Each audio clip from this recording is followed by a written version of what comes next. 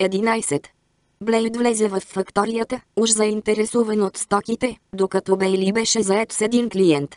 Заразхожда се сред рафтовете, претъпкани с чували брашно, боб, кафе, царевично брашно и бъчви с солено месо. Имаше и консерви, конски амуниции, въжета, седла и дори колела за фургони. Бързо огледа масите, по които се виждаха дрехи и градински сечива, и заразглежда оръжията и ножовете. В допълнение към всичките тези стоки на дълги прътове висяха женски бонета против слънце и корсети, а до тях се виждаха купчини гърнета и тигани. Дори въгъла се виждаше една месингова вана.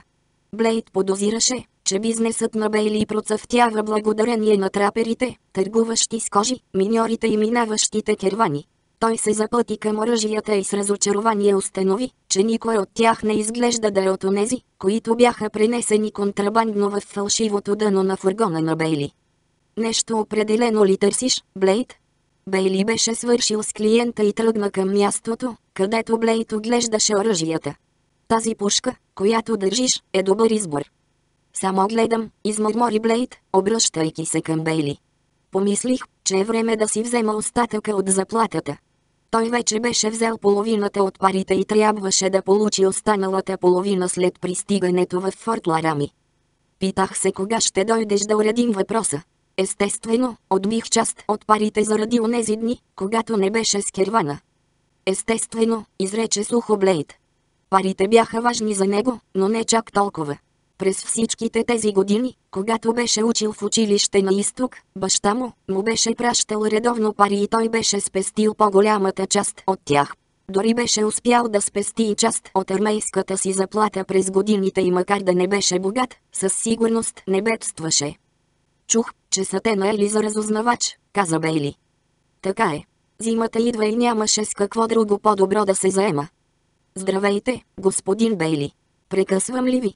Двамата мъже се обърнаха, изненадани да видят Клеер Гриер застанала пред тях с блестяща усмивка. Какво мога да направя за вас, госпожице Гриер? Запита Бейли с уважение. Като дъщеря на командира на форта, Клеер Гриер изискваше и получаваше почтително отношение от военни и цивилни. Чух, че сте докарали нови модели бонета от изток. Реших да ги видя. Заповядайте, госпожице. Ще се върна след няколко минути. Трябва да уредя една работа с Метиса. И той изчезна нагоре по стълбите. Блейт огледа младата жена с забележим интерес. Тя беше дребничка, приятно оформена и безспорно красива. Но не колкото Шанън, реши той, представяйки си я така, както я беше видял последния път, невероятното и тяло зачервено от любенето им, а дълбоките и сини очи, замъглени от страст. Клеер пристъпи към него и гласът и прозвуча като съблазнително мъркане, предназначено да примамва. От досегашния си опит тя знаеше, че почти няма мъже, които биха могли да й се противопоставят. Ти си новият разузнавач, когато татко не е. От момента, когато Клеер беше забелязала Блейд да влиза в факторията, устата й беше пресъхнала и бавна топлина беше започнала да се набира в нея.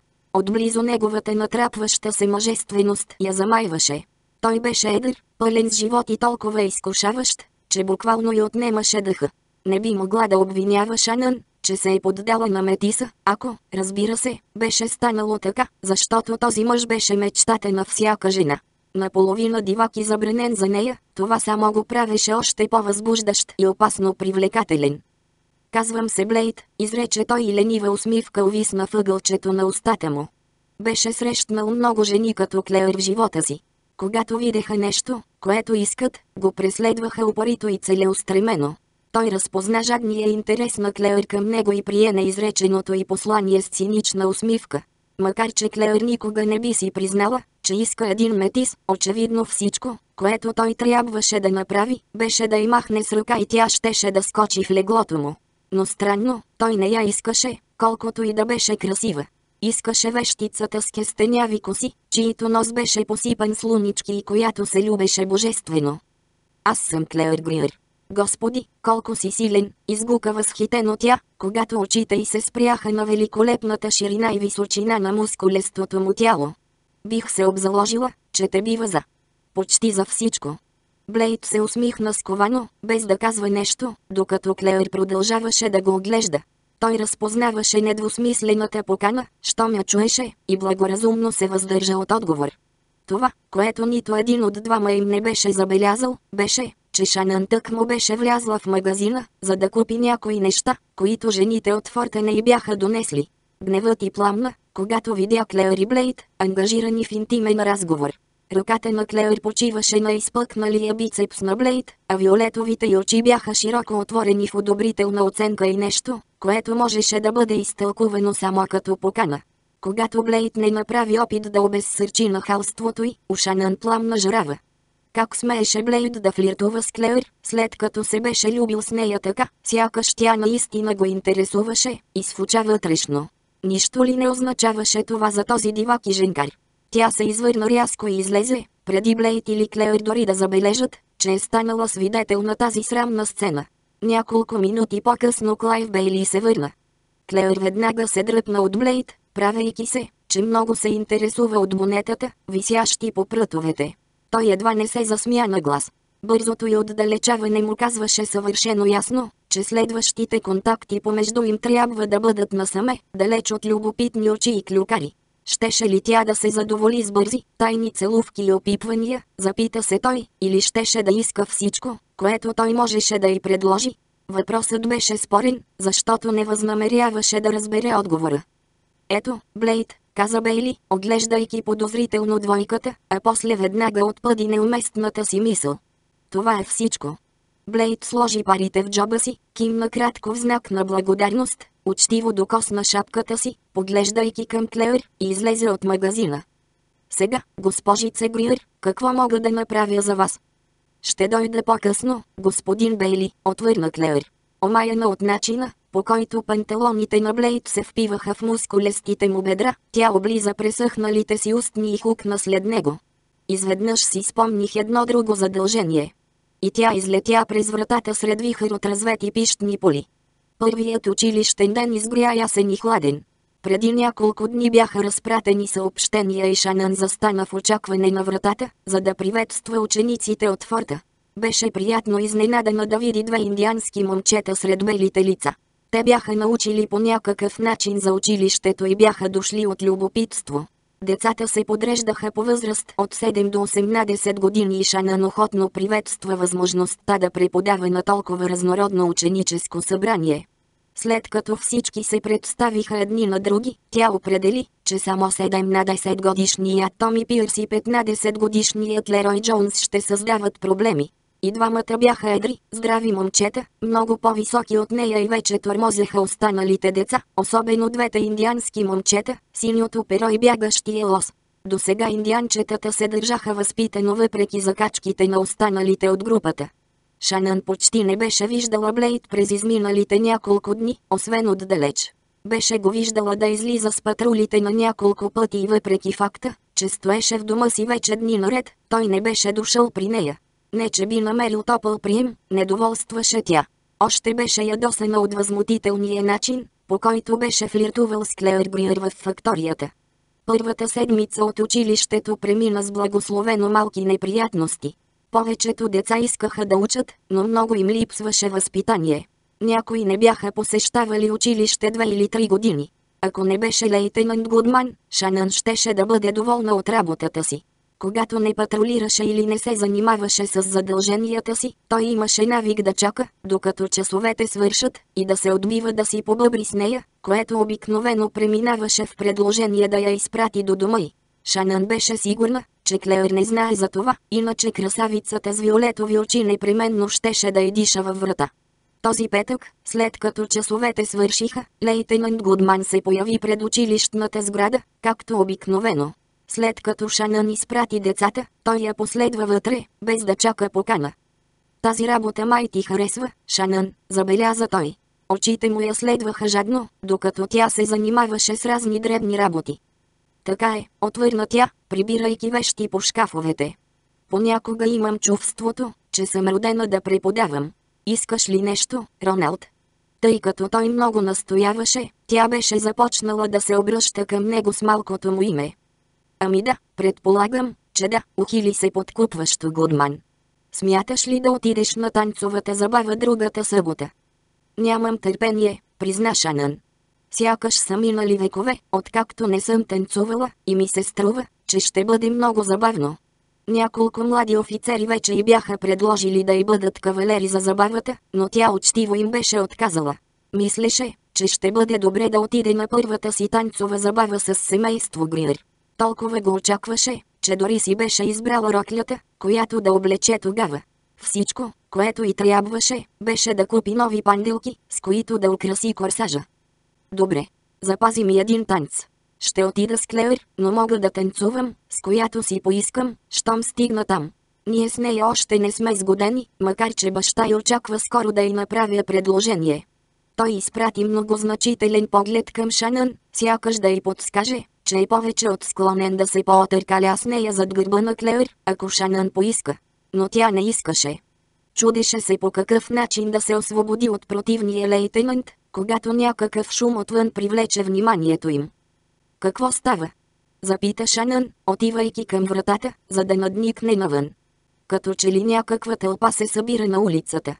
Гудман мина рязко край нея, за да види какво става. Сега ще разбера. Чакай ме. Извика Шанън, чието любопитство се беше събудило. Направете път. Заповяда Гудман, пробивайки си път през струпаните хора, събрали се насред прашния плац. Те като че ли гледаха нещо, което лежете в краката им. Шанън вървеше плътно зад Гудман през отворилата се пред него тясна пътечка. Когато видя какво е причинило суматохата, замръзна и от устните и се откъсна задавено ридание. Господи! Не! Един мъж лежеше по корем на земята, а от гърба му стърчеше стрела. Изтощеният му кон стоеше наблизо, с наведена глава и дишаше тежко. Както изглеждаше, бедното животно беше препускало дълго време, без почивка и без храна. Но най-ужасното не беше това, че мъжът лежеше почти мъртъв на плаца. Онова, което порази Шанън, беше фактът, че тя познаваше този мъж. Това беше младият Тото Уилсън от Кервана. Тот. Тото Уилсън. Блейд се появи изневиделица, коленичайки до Тот, подхвана го и полека го обърна. Тот изпъшка и отвори очи. Те бяха подути и почти затворени от ужасната смес от кал и кръв, изтичаща от дълбок прорез на двеждата. Изражението на лицето му беше така отчаяно, толкова безнадеждно, че Шанън не можа да възпре скръбния вик, който се отрони от обезкървените й устни. Индианци, изпъшкат от, устните му бяха пресъхнали и кървяха от липса на вода. На пътя Болзман. Нападнаха ни на разсъмване, няколко дни след като напуснахме Форт Ларами. Тот, какво стана с семейство Джонсън? А твоето семейство? А другите? Запита Шанън. Страдания и страх изкривяваха красивите и черти в гримаса на болка и неверие. Шанън, пророни Тот, разпознавайки я най-сетне. Слава Богу, че не беше в кервана. Мъртви са, всички са мъртви. Не, о, господи, не, изхлипа тя, извръщайки се, за да скрие мъката си. Какво ще кажеш за това, Блейд? Запита Гудман, клякайки до Метиса. Сиукси, отвърна късо Блейд. Ужасяваше се от мисълта, че всички тези хора, които беше опознал и харесал, сега бяха мъртви. Възможно ли беше бесният вълк да стои зад това клане, запита се той навъсено. Ако беше така, той щеше да направи всичко възможно подобно нещо да не се случи никога повече. Познаваш ли момчето? Запита Гудман. Тото Уилсън пътуваше с семейството си за Орегон. Тот, всички ли са мъртви? Запита Гудман.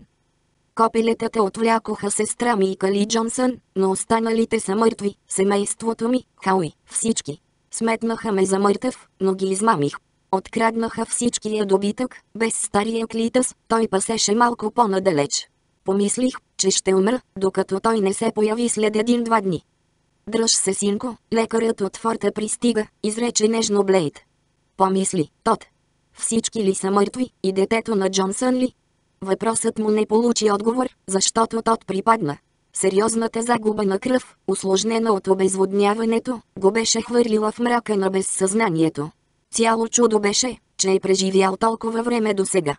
Лекарът пристигна скоро, а по петите му идваха двама носачи с носилка. С военен авторитет той веднага накара тълпата да се разпръсне и коленичи, за да прегледа пациента си. Шанън наблюдаваше с ужас как полагат тот на носилката и го носят към лазарета. Блейд веднага забеляза тревогата и предложи отеха, без да помисли как може да изглежда това. Не се тревожи, Шанън, той е в добри ръце. Лицето й беше толкова бяло, толкова изпито, че Блейд се оплаши да не би тя да е изпаднала в шок, но звукът на гласа му като че ли я извади от унеса й. О, Блейд, не мога да понеса това. Всичките ми приятели. Няма ги. И бедната Нанси, и Кали.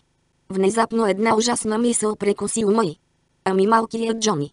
Изглеждаше съвсем естествено и редно Блейд да й предложи отехата на обятията си, когато отвори широко ръце. Без да мисли дали решението е уместно или не, Шанън се хвърли в прегръдките му и захлипа на гърдите му. Гудман остана с отворена уста, шок и неверие преобразиха красивите му черти в маска на омраза и отвращение. Никога нямаше да заподозре, че една добре възпитана млада дама като Шанън Браниган ще търси отеха от дивак. Но това се случваше сега. Да не би да е възникнала някаква връзка помежду им през онези дни, в които са били сами в прерията, запита се той. Не, трябва да е само защото Метисът веднъж беше спасил живота и сега беше естествено тя да се обърне към него в момент на скръп. Девойката трябваше да получи урок кое е редно и кое не. Събери си нещата, Блейд, изрече властно Гудман. Искам да дойдеш заедно с отряда за погребението. Тръгваме след един час. Да се надяваме, че не е прекалено късно да спасим жените. Блейд нерешително отстрани Шанан от себе си. Когато тя издаде тих звук на недоволство, той я разтърси леко и прошепна на ухото и така, че само тя да го чуе. Помисли как изглеждаш отстрани, малка жар птица. Не давай храна на клюкарите в форта. Шанан бе твърде разстроена, за да я е грижа какво си мислят хората, но здравият разум надделя, докато тя безмълвно гледаше как Блейд се отдалечава от нея. Едва тогава осъзна, че лейтенант Гудман още е там и се взира в нея с строго неодобрение. Предупреждавал съм те и преди за Метиса, Шанън, и за нередното ти поведение спрямо него, изрече той укорително. Добре, че гражданите се разпръснаха, преди да станат свидетели на подобна неуместна демонстрация. Не забравяй, че си учителка и моралът ти никога не бива да бъде поставен под въпрос. Шанън изфуча негодуващо. Няма нужда да ми проповядвате морал, лейтенанте, напълно съзнавам отговорността си пред децата. Не се сърди, Шанън, казвам ти това, само за да не позволя да допуснеш ужасна грешка. Метисът не е мъж, с когото една дама може да поддържа отношения. Ти си нова тук, на запад, не знаеш правилата и суровата действителност на граничния живот.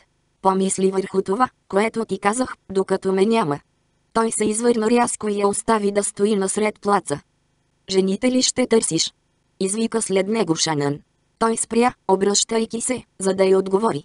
Зависи от полковник Гриер. Ние сме просто шепа мъже, събрани тук в Форт Ларами, и имаме всичко, каквото ни трябва, за да обезопасяваме стотици мили от Орегонския път, повечето от които са в сърцето на сиукските земи. Ако е по силите ни, ще доведем жените, но не мога да обещая, че ще успеем. Блейд тръгна на разузнаване пред патрула, ушите му бяха настроени за всеки звук, очите – на штрек за признаци на опасност. С основание подозираше, че бесният вълк и неговите ренегати стояха зад подлото нападение над Кервана, и му хрумна, че ако не бяха получили оръжията, никога нямаше да предприемат нападение. Убиването на невинни жени и деца беше постъпка на страхливец. То беше нападение като онова, което доведе до клането край Сент Крик през 1864 година. Когато армията изби 150 мирни индианци като възмездие за индианските жестокости. Този нощ патрулът спана открито и Блейд нарочно избра място малко по-далеч от основната група, за да разгъне постелката си. Лейтенант Гудман се приближи към него, докато се приготвяше да си легне. Кога ще стигнем до Кервана? След още няколко дни, пресметна Блейд. Можем да пътуваме два пъти по-бързо от Кервана. Аз ще тръгна на разсъмване и ще разузная. Извърна се, очаквайки Гудман да си тръгне. Когато той не помръдна, Блейд се обърна право към него, вдигна въпросително вежда. Има ли още нещо? Зачака Гудман да заговори с студен поглед в тъмните очи. Да, има. Ти накърняваш репутацията на госпожица Браниган всеки път, когато те видят с нея. Тази демонстрация днес беше нежелателна. Не допускай да се повтори. Това заповед ли е, Гудман? Ако искаш да запазиш работата си, стой далеч от Шанан Браниган. Аз съм близък с полковника и едва моя дума е всичко, което е необходимо, за да бъдеш уволнен. Не ме заплашвайте, Гудман, изрече Блейд с равен глас, сподавяйки подтика да постави наперения лейтенант на мястото му.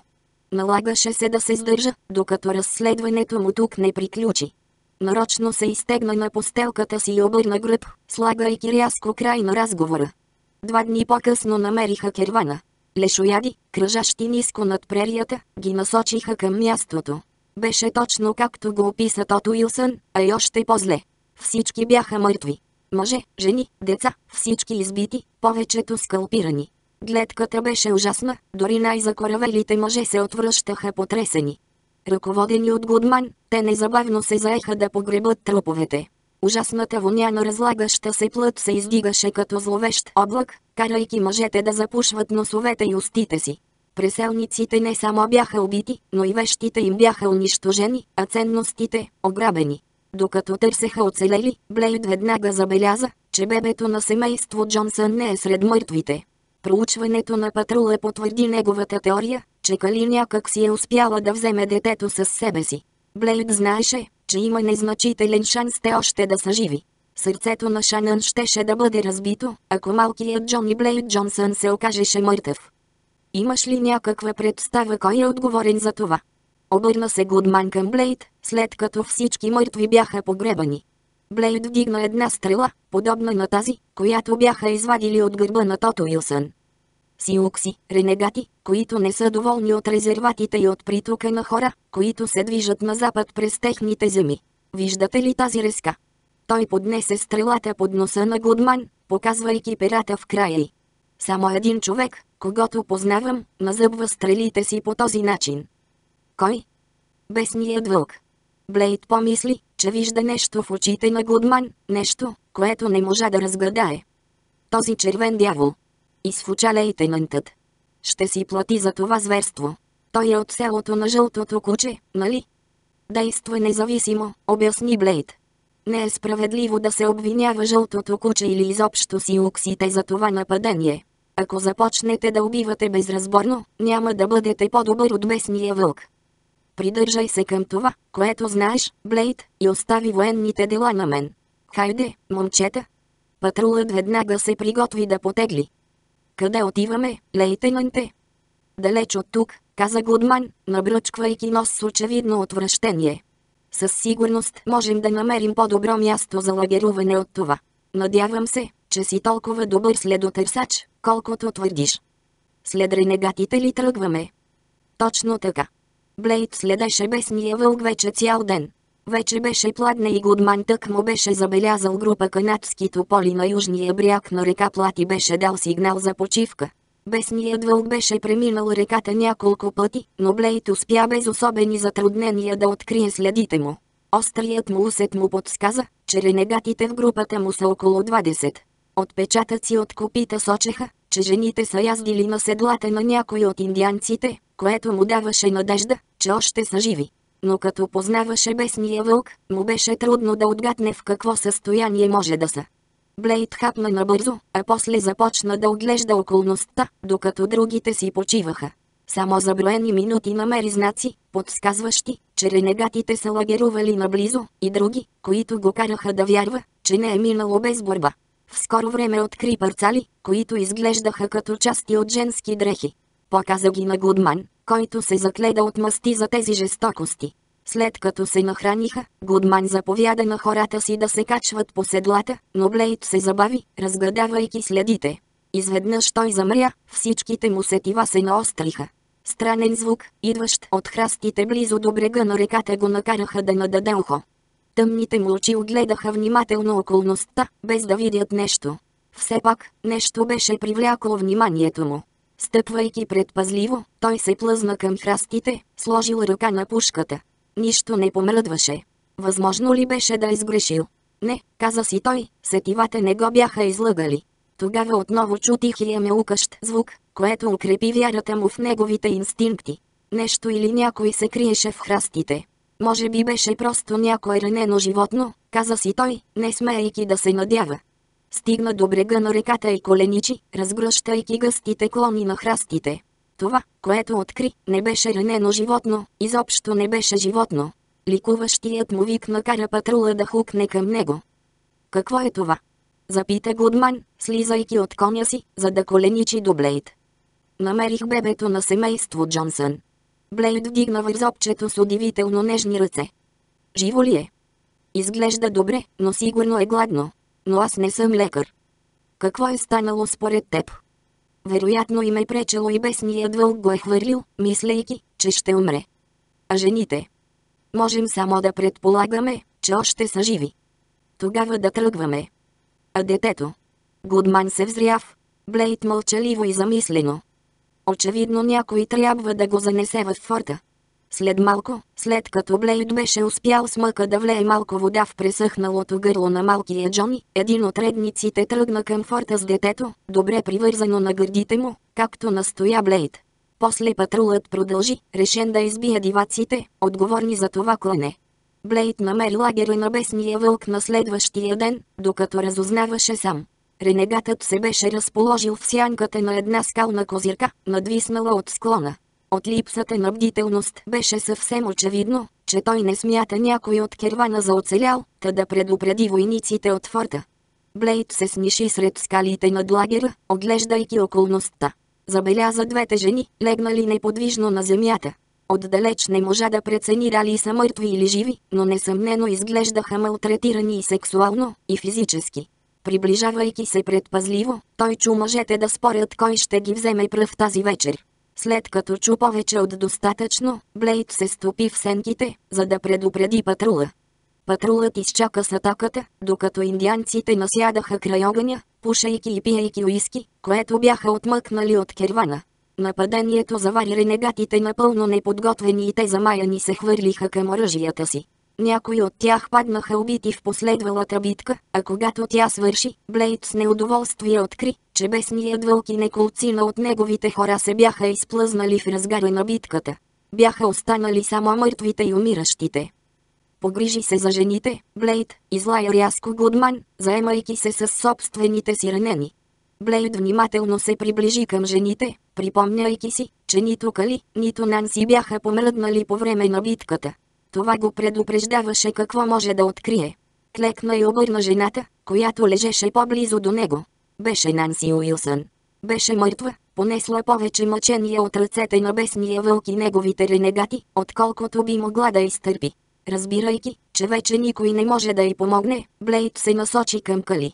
С радост установи, че е жива, макар и покрита с мръсотия и пребита до неузнаваемост. Кали, чуваш ли ме? Отначало не получи никакъв отговор, но когато долепи манерката си до безкръвните устни на младата жена, тя отпи жадно. Спокойно, сега си в безопасност. Звукът на мъжки глас и допират на ръцете на Блейт изтръгна вик от гърлото на Кали. Не, не, моля те, не ме наранявай отново. И затрепери неудържимо. Мургавото лице на Блейд, надвесен над нея, я запрати на ръба на безнадеждността. Блейд я прегърна здраво, шепнейки успокоителни думи на ухото й. Аз съм, Блейд, Кали, Суивд Блейд. Сега си в безопасност, вече никой няма да те нарани. Мина време, преди той да успее да я върне към действителността. Тя спря да се дърпа и да вика, но продължи да трепери. Блейд. Да, Кали, сега си в безопасност. Детето ми, детето ми е мъртво. Хауи е мъртъв, продължаваше да стене тя. Детето ти е живо, Кали. Намерих го и го пратих в форта. Скоро ще бъдеш при него. Как са жените? Лейтенант Гудман застана до Блейд, след като се беше погрижил за ранените си и беше дал необходимите заповеди. Нанси Уилсън е мъртва, но мисля, че Кали ще оцелее, ако се погрижат за нея както трябва. Трябва да я върнем в форта колкото може по-скоро. Ще се погрижим за вас, госпожо Джонсън, увери я Гудман, поставяйки ръка на рамото й. Кали веднага се дръпна и ужас се изписаха на лицето й. Не ме докосвайте. Всичко е наред, Кали, лейтенант Гудман няма да те нарани. Той ще те прати в форта заедно с някой от войниците си. Не, моля те, не можеш ли ти да ме отведеш? Не искам с никой друг. Може би това ще бъде най-доброто, каза Гудман с замислено изражение. Очите му се присвиха и на лицето му се изписа смущение. Очевидно жената ти вярва. Ами бесният вълк. Ще го намерим. А ако не го открием, някой ще плати. Намекът на Гудман, че някой друг, дори невинни индианци, ще пострада заради жестокостите на бесния вълк, изплаши Блейд. Нямаше обаче какво да направи, само се молеше Гудман да намери бесния вълк. Животът на Кали зависеше от това, колко бързо Блейд щеше да я откара в Форт Ларами и при лекар, който да се заеме с нея. След два дни Блейд влезе в Форт Ларами. Кали седеше отпусната на седлото пред него. Любопитна тълпа се събра около тях, когато той спря пред вратата на лазарета и слезе от коня. Пренебрегвайки въпросите, които му подхвърляха, той бързо внесе Кали вътре. След сбито обяснение и успокоителни думи, отправени към младата жена, той я остави на вещите грижи на лекаря. Причината да не се бави там беше, че силно желаеше да намери незабавно Шанан. Искаше лично да й каже как и в какво състояние бяха открили Кали. Когато излезе от лазарета, зърна Шанан да пресича плаца, тъй като беше чула, че Блейд се е върнал с една от жените. Той тръгна насреща й. Блейд, какво стана? Кого намери? Открихме Кали, Шанан. Оставих я при лекаря. Слава Богу. Отивам при нея, тя ще има нужда от някого, каза Шанан, понечвайки да мине покрай него. Почакай. Блейд я хвана за ръката и я спря. Нека първо да ти кажа как я намерихме. Редникът пристигнали с детето. Внезапно лицето на Шанан се озари. Да. След като изкъпаха и нахраниха Джони, изглеждаше добре въпреки преживяното изпитание. Госпожа Креймър великодушно предложи да го гледа наред с собствения си тримесечен син. Моля те, разкажи ми за Кали и Нанси. Някой друг ли се връща с Нанси? Нанси е мъртва. Не е могла да понесе мъченията, изрече Блейд с мрачен глас. Слава Богу! Кали е направена от по-здрава материя. Тя е в шок от смъртта на Хауи и се нуждае от много грижи и разбиране. Като знае, че детето е добре и в безопасност, това ще й помогне да се излекува. Бедната Нанси, захлипа Шанън. Ще направя всичко, което ми е по силите, за да помогна на Кали да се възстанови. Защо трябваше това да се случи с нея? Можеше да съм аз. Защо бесният вълк не ме взе, когато бях в негова власт? Той те искаше за своя съпруга, обясни и Блейд, затова не позволи на никого от приятелите си да те докосне. Нещо в мен щеше да бъде убито, ако те бях видял в такова състояние като Кали. Сърцето на Шанън се заблъска диво в гърдите й. Думите на Блейд означаваха ли, че не му е безразлична? И по-важното, той беше ли безразличен? Отговорът беше решително не. Никога не би му се отдала толкова лесно, ако и беше безразличен. Тя не беше от жените, които се предлагат на всеки мъж. Най-накрая беше способна да признае, че когато Блейд се любеше с нея, нямаше значение дали във вените му тече същата кръв като от тези мъже, които бяха избили всичките и приятели и се бяха гаврили с Кали. Иди сега при Кали, Шанън. Тя ще има нужда от приятел. Аз трябва час по-скоро да говоря с полковник Гриер, той ще очаква доклада ми. Бесният вълк избяга и патрулът тръгна след него. Той се обърна, за да се отдалечи. Блейд, моля те, ела до вечера, имам нужда да да поговоря с теб. Смутено изражение се настани на лицето на Блейд. Шанън, знаеш какво става, когато останем насаме за повече от няколко минути?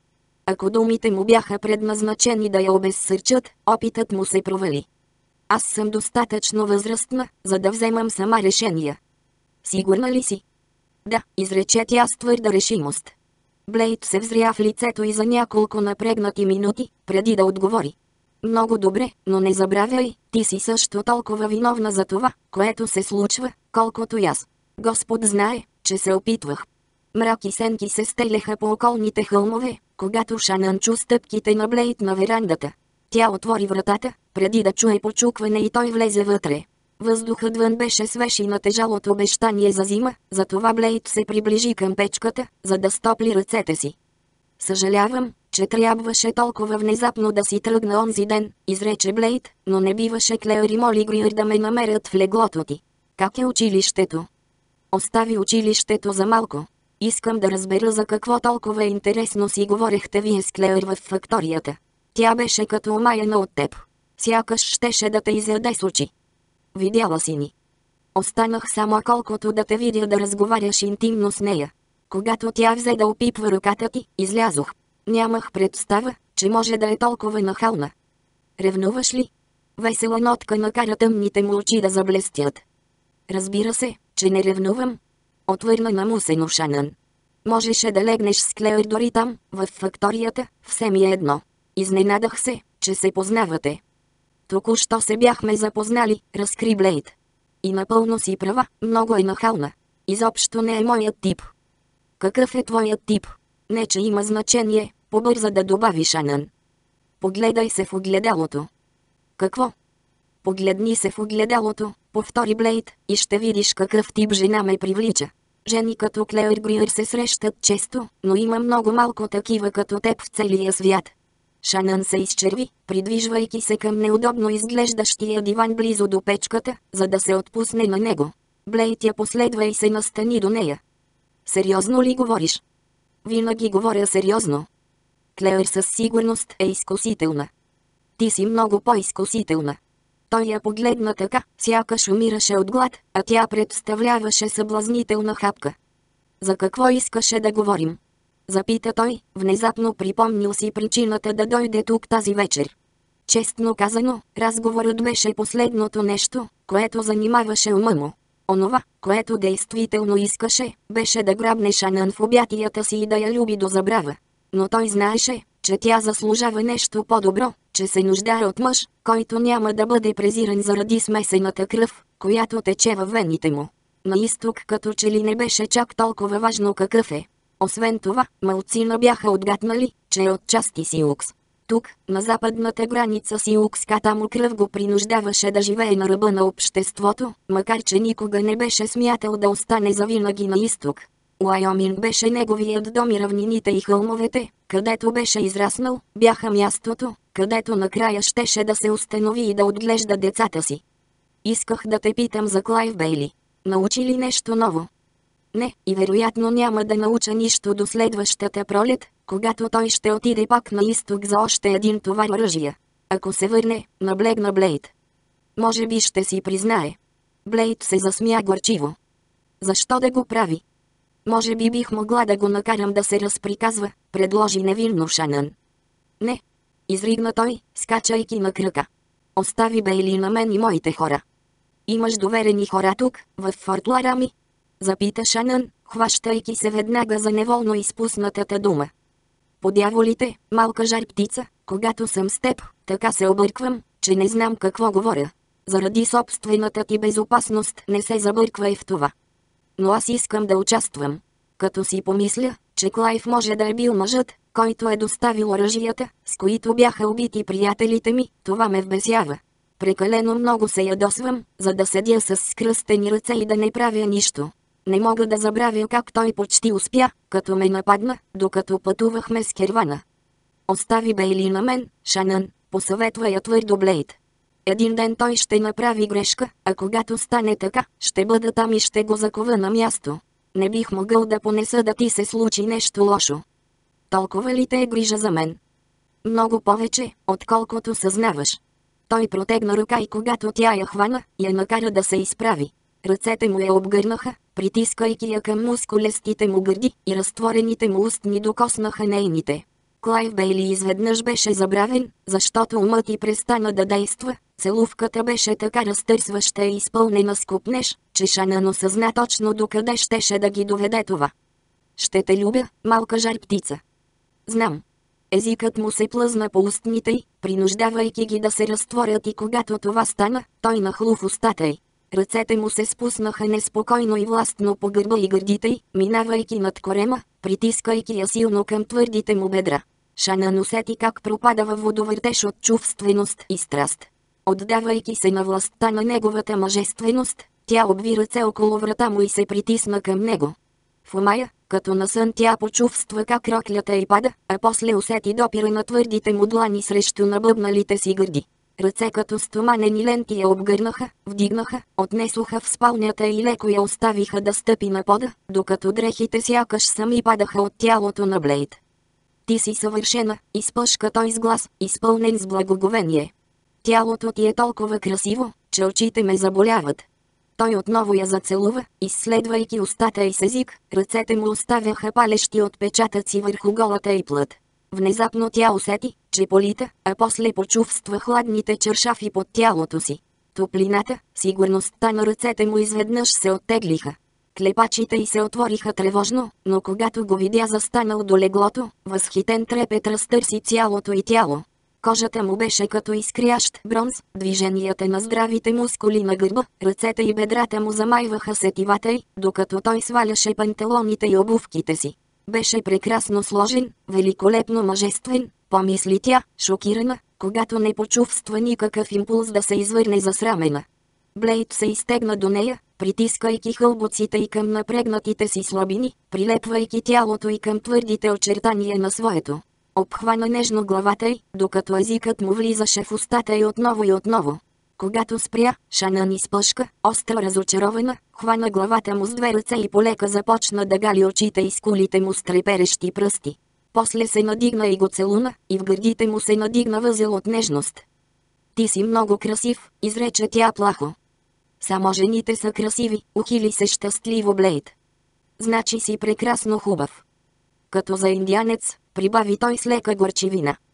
Като за мъж, поправи го Шанън. О, господи, Шанън, само ако. Ако какво? Нямам право да ти го казвам. Блейд, моля те. Само ако беше моя. Ти ме направи своя. Аз съм метис. Подяволите, Блейд, забрави това и ме люби. Шанън, изпъшка той и ръцете му се втурнаха по гърба и бедрата й, галейки задничето й. Шанън, повтори той, без да може да спре да изрича името й, докато я обръщаше по гръб и покриваше тялото й със своето. Шанън, изстена той дрезгаво, когато ръцете й го обгърнаха и тя вдигна хълбоците си, притискайки се към набъбналата му мъжественост. Името й беше като неспирна мелодия в главата му, пееща във вените му, когато тя приветства първия горещ тласък на тялото му в своето. Блейд.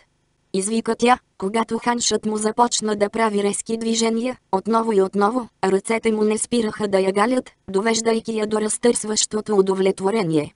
Отчаяно стремейки се към собствената си награда, Блейд откъсна устни от нейните, надигна се на лакти, за да вижда лицето й, когато треперенето й престана. Тогава отново се зарови в нея, отново и отново, докато тялото му се гърчеше конвулсивно и той изливаше семето си в нея. 12. Трябва ли да тръгваш?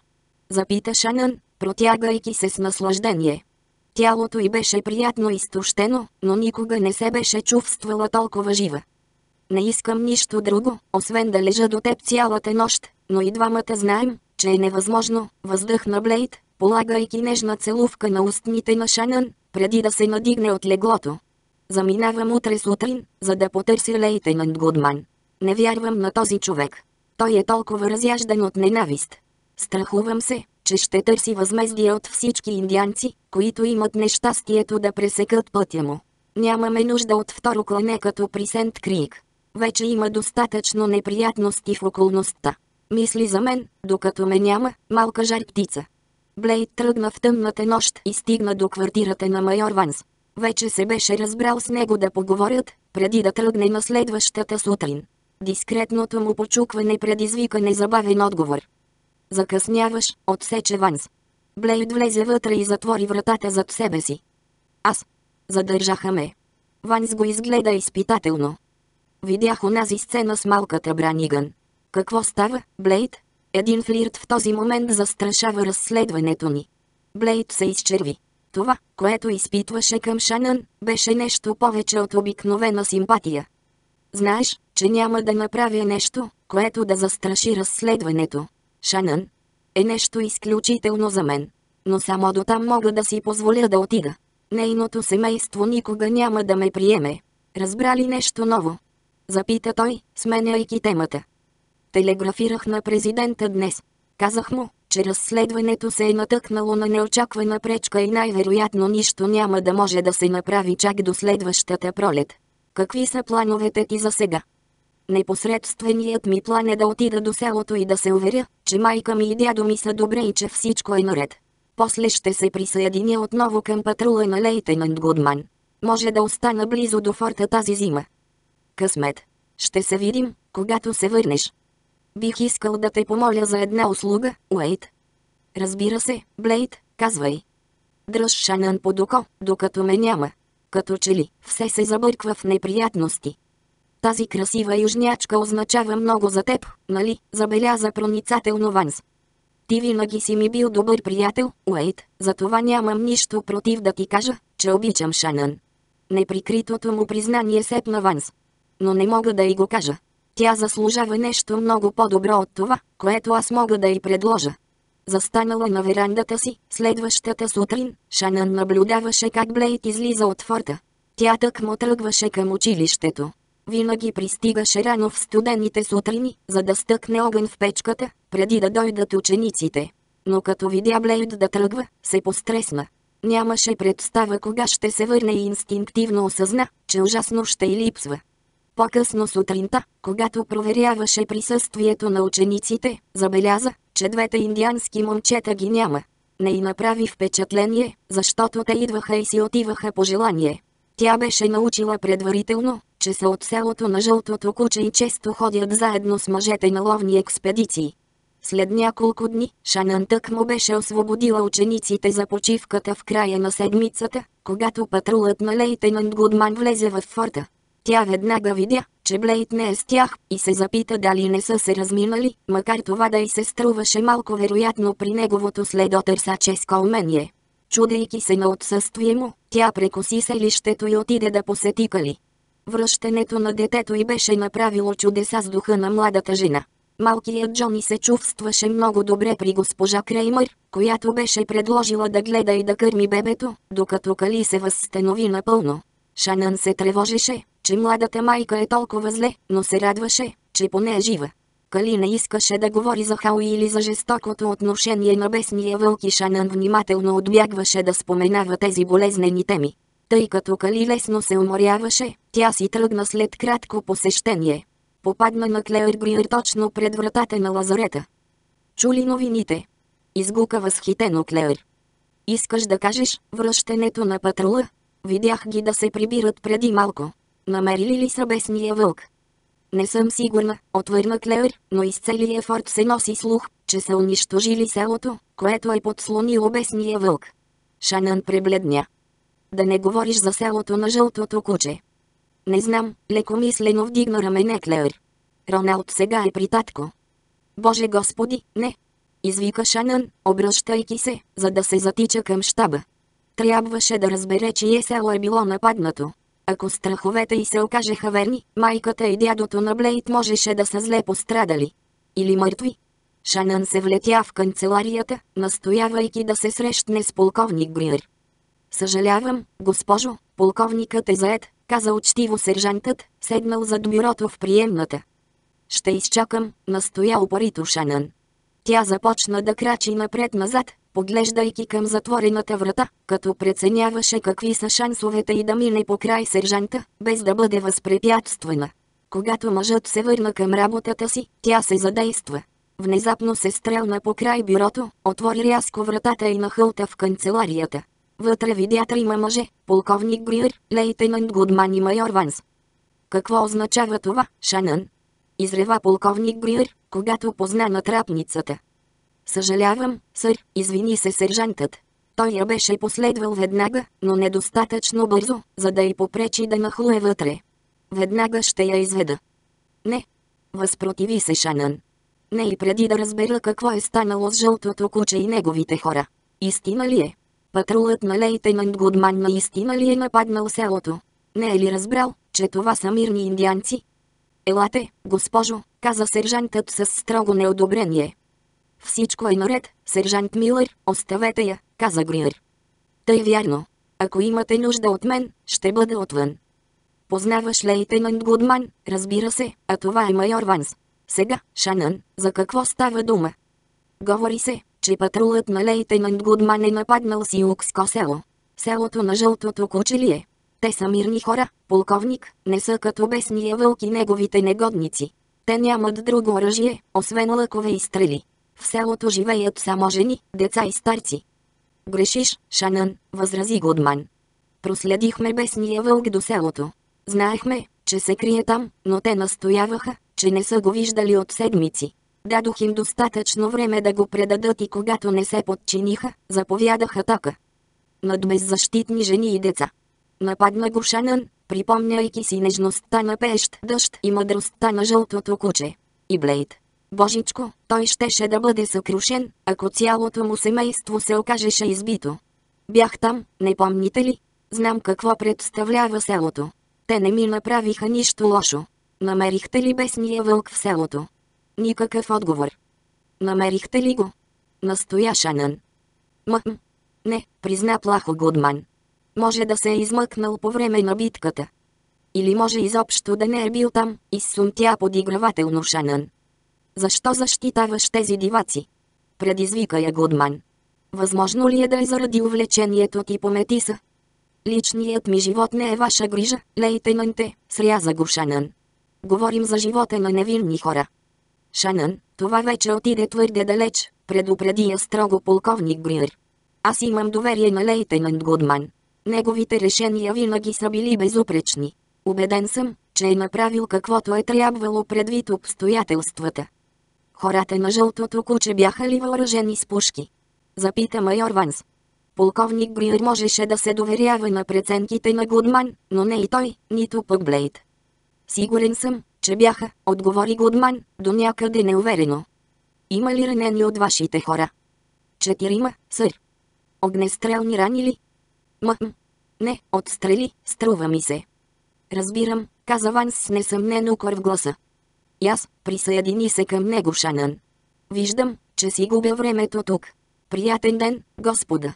Извръщайки се рязко, тя излетя от стаята, мина по край смаяния сержант Милър и излезе навън. Шанън знаеше какво трябва да направи сега. Без значение къде е Блейд, тя трябваше да го открие. С твърда решимост побърза към конюшнята, възнамерявайки да наеме кон и да тръгне веднага. За щастие беше петък и имаше цели два дни, за да открие Блейд.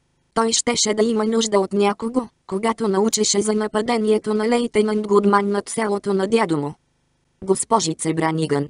Шанън. Къде отивате? Шанън се извърна, за да намери майор Ванс на няколко крачки от себе си. Не, че това е ваша работа, майоре, но отивам да намеря Блейд. Той ще бъде съкрушен, когато научи за подлата постъпка на лейтенант Гудман. Съгласен съм, каза Ванс, искрено загрижен. Наистина ли? Думите му накараха Шанън за момент да занемее. Така е. Малцина тук го знаят и предпочитаме да е така, че ние двамата с Блейд сме приятели и сме такива от много години насам. Вие сте човекът на Блейд. Избъбри Шанън, преди да осъзнае какво казва. Господи, какво ви е казал той? Всичко. Или почти всичко. Наистина нямаше друг избор, нали разбирате? Видях го да претърсва фургоните, след като керванът напусна Индипенденс. Упорствах, докато той не ми призна, че работи за правителството. Дори му предложих помощта си, но той категорично отказа. Сигурно, изрече полека Ванс. Вие сте невероятна жена, Шанън Браниган. Не е за очудване, че блеете. Мъм. Така привързан към вас. Но той е прав, разбира се, това не е детска игра. Последният агент, изпратен от правителството, е мъртъв. Но да се върнем на темата, как предлагате да намерим Блейд? Знаете ли къде да го търсите? Не, не, призна Шанън, но ще го намеря. Той ми каза, че ще отиде да се види с майка си и дядо си, преди да се присъедини към патрула на лейтенант Гудман. Очите на Шанън се разшириха тревожно. О, не, той може да е там сега. По-добре да побързам. Шанън, не можете да отидете сама. Имате ли по-добра идея, майоре? Да, изчакате до сутринта и аз ще дойда с вас. Твърде късно е вече за тръгване. Ще направите ли това? Казах ви, че съм приятел на Блейд, и ваш също, надявам се. Е, разбрахме ли се? Добре, съгласи се тя нерешително. До утре сутрин. Лицето на Блейд беше напрегнато, докато се приближаваше към Сиукското село.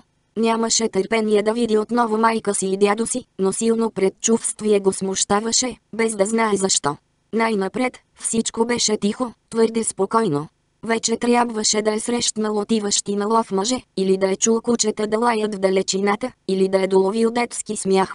Сякаш беше единственото живо същество в огромната пуста прерия. Студен северен вятър задуха от към далечните планини и Блейд потръпна. Усещаше го с всяка фибра на съществото си, нещо не беше наред, никак не беше наред. Дори костите го боляха от това усещане. Селото беше сгушено в тясна долина между два хълма, но никакъв дим не се издигаше, за да го посрещне, никакви щастливи гласове не долитаха до него на крилете на вятъра. Забивайки пети в хълбоците на боец, Блейд го подкара в галоп, когато неизразим страх скова вътрешностите му. Той знаеше, някак си усещаше какво ще открие, но го отричаше с всеки удар на сърцето. Тогава внезапно селото се разстла пред него и най-ужасните кошмари се превърнаха в шокираща действителност. От селото не беше останало нищо, освен димящи въглени. Тела лежаха пръснати навсякъде, мъже, жени, деца, дори бебета в люлките си. Дъхът излезе рязко от гърдите на Блейт и въздухът наоколо му затрепери от ужасния, смразяващ кръвтавик на мъка и отрицание, който се изтръгна от устните му. Няколко дълги минути той не можа да помръдне. После, борейки се с чувствата си, се насили да се заеме с ужасната задача да огледа всяко тяло, за да потърси признаци на живот. Сълзи се търкулнаха по бузите му, когато намери тялото на пеещ дъжд. Изрева от болка и вдигна юмруци към небето, изливайки във викове гнева си. Защо? Извика той към Лакан Такан, духа на предците. Защо позволи това да се случи? Защо моята нежна майка? Защо тези хора, които искаха само мир? Тогава той запя песента на смъртта, събирайки пепел от земята, за да я размаже по лицето и гърдите си. Не почувства болка, когато поряза ръцете си на няколко места, пренебрегвайки кръвта, сякаш я нямаше. Така го намериха Шанан и майор Ванс на следващия ден, все още коленичил до мъртвата си майка, с лице, превърнало се в маска на безпределно отчаяние, напявайки си укската погребална песен. Като усети присъствието им, Блейт рязко прекъсна песента. Обърна се към тях. Шанан пребледня. Лицето на Блейд беше лишено от всякакво чувство, очите му бяха отчаяни и празни, той като че ли не ги позна. Тя никога не беше виждала такова дълбоко страдание, такава всеобхватна скръп, освен, може би, когато семейството й беше открило баща и загинал от собствената си ръка. Блейд, толкова съжалявам, изрече тя, докосвайки нежно рамото му. Мекият и глас като че ли го откъсна от хипнотичното му състояние. Шанън, изпъшка той болезнено. Убили са я. Тя никога никого не е наранила. Пещ дъжд беше мила и нежна. Макар индианците да бяха приучвани още от раждането си никога да не показват емоции, Шанън виждаше блещукането на сълзи в тъмните му очи. Знам, Блейт, аз я обичах. Не. Не виждам дядо ти, осмели се тя. Няма го сред мъртвите. Няма го изкачащия бизон. Надявам се да са се спасили от това клане. Ще ти помогна да погребеш мъртвите, Блейд, предложи майор Ванс. Нашият обичай е да оставяме мъртвите на погребални платформи, изрече мрачно Блейд. Много са, няма да е възможно, изтъкна Ванс. Погребението е най-доброто, което можем да направим. Да, съгласи се Блейд. С изключение на майка ми. Ще построя платформа и ще подготвя тялото й. Тя ще бъде оплакана както трябва, по-силукски. Дори Шанън помогна с погребението, понякога задавяйки се от миризмата. Но заради Блейд преглътна отвращението си и храбро се включваше там, където имаше нужда. Погребалната платформа на пещ дъжд беше построена по край река Плат след група здрави канадски тополи. С нежност, родена от любов, Блейд загърна тялото и в одеяло и го постави на платформата. Остана там дълго време, сбогувайки се мълчаливо с нея, докато Шанан и Ванс го гледаха и споделяха мъката му. Сега е по-добре да тръгвате, обърна се Блейд към тях. Няма нищо друго, което да можете да направите. Шанан едва разпознаваше този суров странник, с когото говореше, сякаш никога до сега не го беше виждала. Този мъж имаше очи, студени и празни като смъртта. Нищо не беше останало, за да й напомня за ласкавия любовник, който я беше взел нежно и беше направил първия и път незабравим. Не искам да те оставям, Блейд. Върни се с нас, замоли го Шанън. Тя има право, Блейд, върни се в форта, заувещава го и майор Ванс. Ако се върна сега с вас, най-вероятно ще убия Гудман. Ще остана и ще потърся дядо. Ако е жив, ще има нужда от мен. Дайте ми време да оплача майка си както трябва. След като траурът ми свърши, ще намеря бесния вълк и ще сложа край на мизерния му живот. Няма ли нещо, с което бих могла да променя намерението ти? Запита Шанън. Не можеше да позволи това да свърши така. Ще ви чакам при конете, Шанън, каза Ванс, решен да остави двамата насаме. Блейд го изгледа как се отдалечава, преди да се обърне отново към Шанън с отговора си. Няма нищо, което да можеш да направиш. Ще има ли значение, ако ти кажа, че те обичам? Запита Шанън с нисък и нежен глас. Ако не беше внезапното проблясване на топлинка в очите на Блейд, Шанън би се заклела, че не я е чул. Сърцето ми е празно, изрече той. Позволи ми да ти помогна. Може би. По-късно. Имам да правя много неща сега. Трябва да има оцелели и ще ги намеря. Зимата вече се задава, те ще имат нужда от храна и подслон.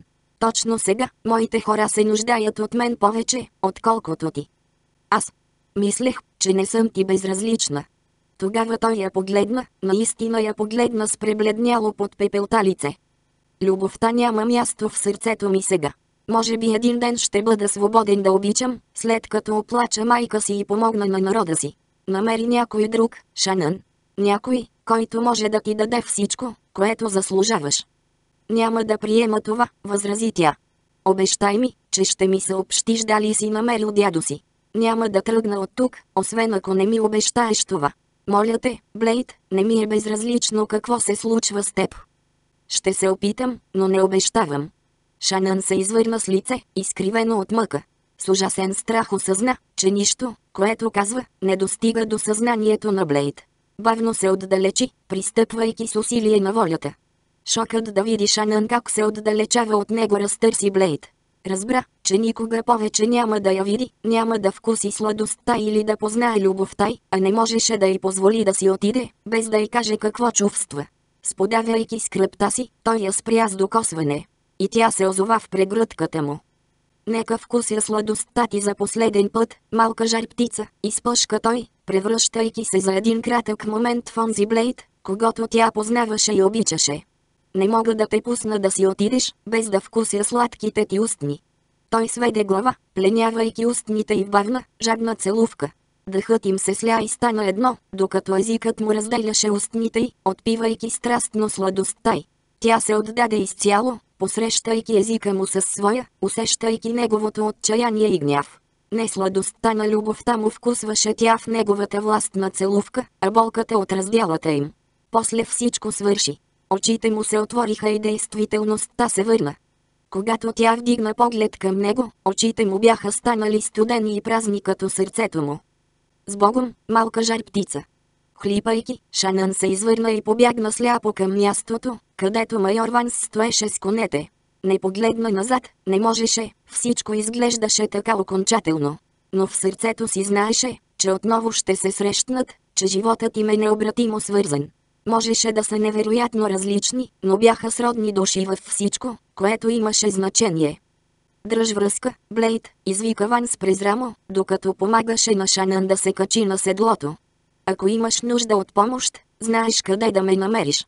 Блейд не каза нищо, нито се обърна, за да ги види как се отдалечават. Беше се върнал към траура си. В следващите седмици Кали се възстанови от страданията си и се премести да живее при Шанън. Макар че къщата беше малка, стигаше за две жени и бебе. Тото Юсън също беше оздравял от раните си и си беше намерил работа. Надяваше се да спечели достатъчно пари, за да се присъедини към някой керван, който щеше да мине от тук следващото лято. Не се беше отказал от мечтата си да се засели в Орегон. Докато Шанън преподаваше в училище, Кали настоя да чисти и да готви. Шанън не я беше разпитвала за плановете и относно бъдещето, но една вечер, след като малкият Джони беше нахранен и сложен да спи, Кали и се довери. Много мислих за бъдещето си, Шанън, изрече тя полека. Искам да се върна в Охайо. Без Хауи няма бъдеще за мен в Орегон. Знам, че родителите ми ще ме приемат заедно с детето. Аз съм всичко, което имат. Сигурна ли си, Кали? Ти си добре дошла тук, докато искаш да останеш. Аз няма да ходя никъде чак до следващото лято. Искам да замина сега, Шанън. Ненавиждам това място. Непрекъснато ми напомня за... За смъртта на Хауи. За всичко. Но нямам пари, дори дрехите на гърба ми не са мои. Жените тук бяха мили с мен, но ме гледат така, сякаш съм някаква слабачка. Понякога мисля, че ще е по-добре да умра. Не говори така, Кали, упрекна я Шанън. Детето ти се нуждае от теб. Освен това, едва на пролет ще можеш да тръгнеш. Не си ли чула? Железницата е стигнала до Чейен. Сега вече може да се пътува с влак на изток и през зимата, както през лятото. Всички говорят за това. Аз предполагам, че съм била доста заета напоследък, оправда се Шанън. Блейд, нали? Знам още отдавна, че имаш чувства към него. Мислиш ли, че някога ще се върне? Не знам. Но имаш право, Кали, наистина обичам Блейд. Знам, че е метис, но това няма значение. Той е невероятен мъж, независимо какъв е. Но стига за мен. Ако имаше пари, как щеше да стигнеш до Чейен? Труден въпрос, но ако наистина имах пари, щях да взема дилижанса до Чейен. Той идва веднъж седмично. Сериозно ли говориш? Ако парите те задържат тук, в такъв случай край на безпокойствата ти. Ще ти дам пари. Щедра до безкрайност, Шанън не смяташе, че ще остане принудително в форта, ако даде на Кали скромните си спестявалия. Шанън, не мога. Разбира се, че можеш. Аз имам заплатата си, от която ще се издържам. Не е достатъчно, за да стигнеш до Айдахо. Ами семейството ти? Семейството ми ще ме разбере и дори ще ми прати пари, ако имам нужда. Имам работа и покрив над главата. Освен това, не съм сигурна, че мога да тръгна, като знам, че може никога повече да не видя Блейд.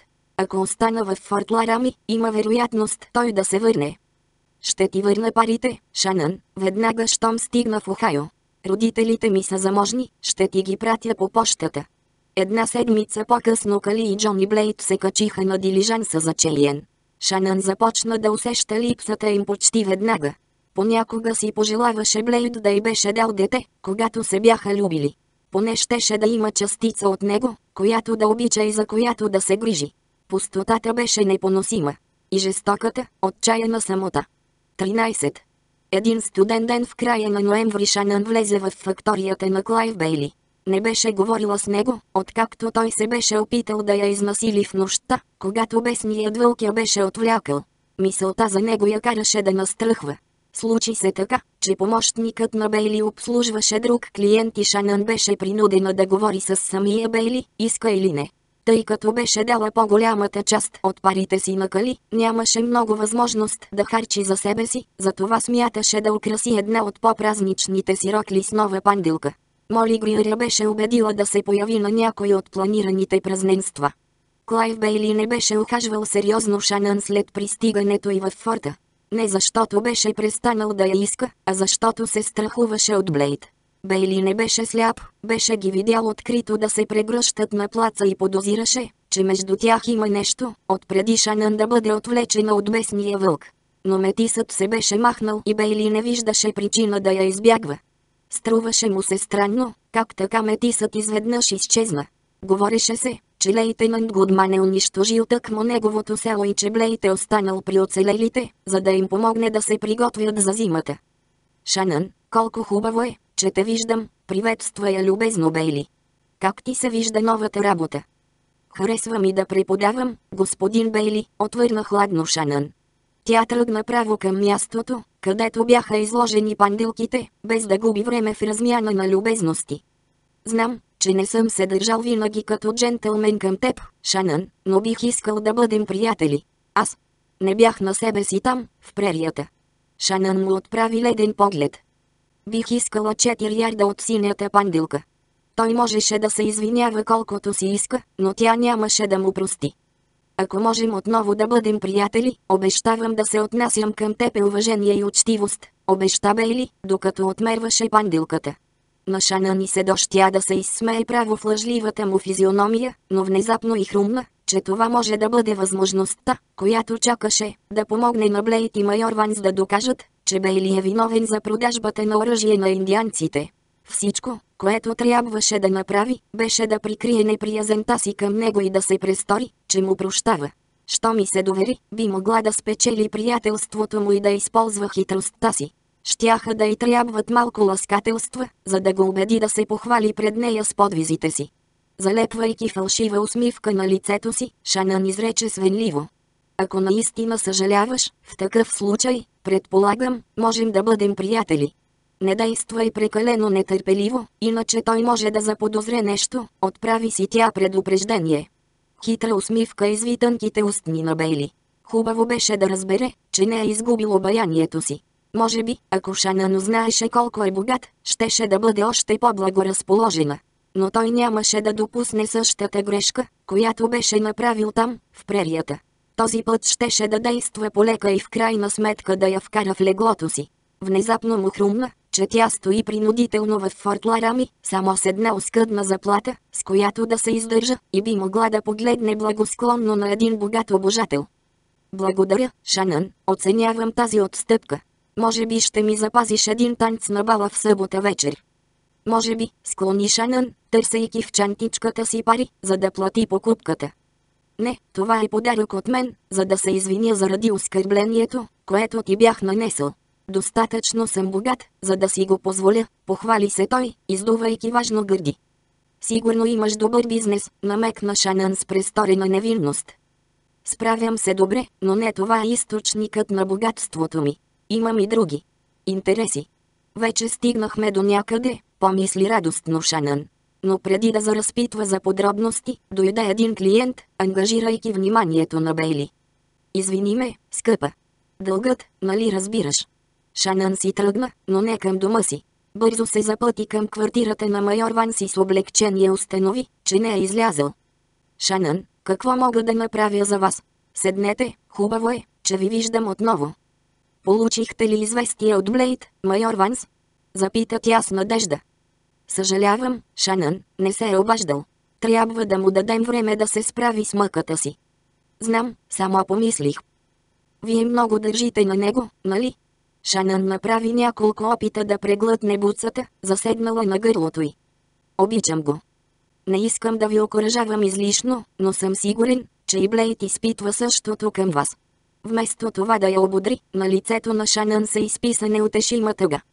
Той мисли, че не е достатъчно добър за мен.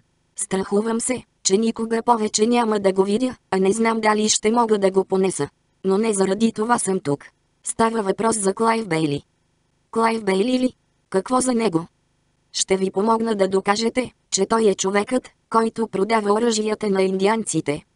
Какво? Възкликна Ван си скочи на кръка. Няма да правите нищо такова, млада госпожо. Вече е твърде късно. Възстанових нашата дружба, ако може така да се нарече. За щастие той е отявлен женкар. Тя сметна за добре да не разкрива, че Бейли се беше опитал да я изнасили, и то не веднъж. Той мисли, че ми е направил силно впечатление. Какъвто е суетен глупак, знам, че мога да го накарам да започне да ми се хвали с парите си. Не искам да чувам за такова нещо, каза Ван стихо, но авторитетно. Не можете да ме спрете. Искам да го направя. Трябва да го направя, заради Блейд. Ще ви осведомявам за напредъка си. И, ако имате новини от Блейд, моля ви, съобщете ми. Тя се обърна, за да излезе, вече взела ясно решение. Права сте, Шанън, не мога да ви спра, съгласи се Ванс, но ви моля да бъдете предпазлива. Елате при мен, ако имате нужда от помощ или поради каквато и да било друга причина. Сняг затрупа земята, сипейки се от плътни бели облаци. Това беше най-подходящата украса за първия бал от коледния сезон. Танците бяха в разгара си, когато Шанън влезе в клуба заедно с семейство Гриер. Основното помещение беше весело украсено в съответствие с сезона и средата му беше запълнена от ентусиазирани танцуващи двойки. Това беше първият бал, на който Шанан отиваше, след като беше отказала да посети предишния. Тъй като Форт Ларами никога не беше атакуван от индианци, той беше всеизвестен като весел и оживен пост, дом на многобройни фриволни балове и забави. Шанан незабавно беше заобиколена от млади мъже, нямащи търпение да се запишат в балното и тефтерче. Не и се танцуваше сега, когато още оплакваше приятелите си, убити при индианското нападение. Безпокоеше се за Блейт и силно чувстваше липсата му. Но се беше съгласила да се проводи семейство Гриер поради една основателна причина. Надяваше се празничната атмосфера и нейната компания да накарат Клайв Бейли да разкрие нещо повече за незаконната си дейност. За своя изненада Шанан откри, че се забавлява. Танцува с майор Ванс, с полковник Гриер, с лейтенант Гудман и с повечето офицери от форта. Когато дойде редът на Клайв Бейли да я изведе на танц, той го направи с такова арогантно самодоволство, че забита и заскърцаха от гняв. Харесва ли ти да танцуваш, Шанън? Запита той вежливо. Думите му казваха едно, но очите намекваха съвсем друго. О, да. Преди войната правехме най-големите балове и празненства в двете върби, каза тя замечтано. Двете върби ли се казваше твоята плантация? Да, това беше нашата плантация. Но я загубихме. Загубихме всичко, изрече тя с горчивина. Сега там живеят янки. Би ли искала да си я върнеш? Да си я върна ли? Аз. Не разбирам. Мога да ти я откупя. Още едно пътуване на изток и ще бъда достатъчно богат, за да ти купя всичко, което поискаш. Не ти е мястото в тази пустош, да преподаваш в училище, за да се издържаш. Аз мога да те облека в красиви дрехи, да ти откупя дома, ако искаш, да ти дам бижута. Клайв, какво ми предлагаш?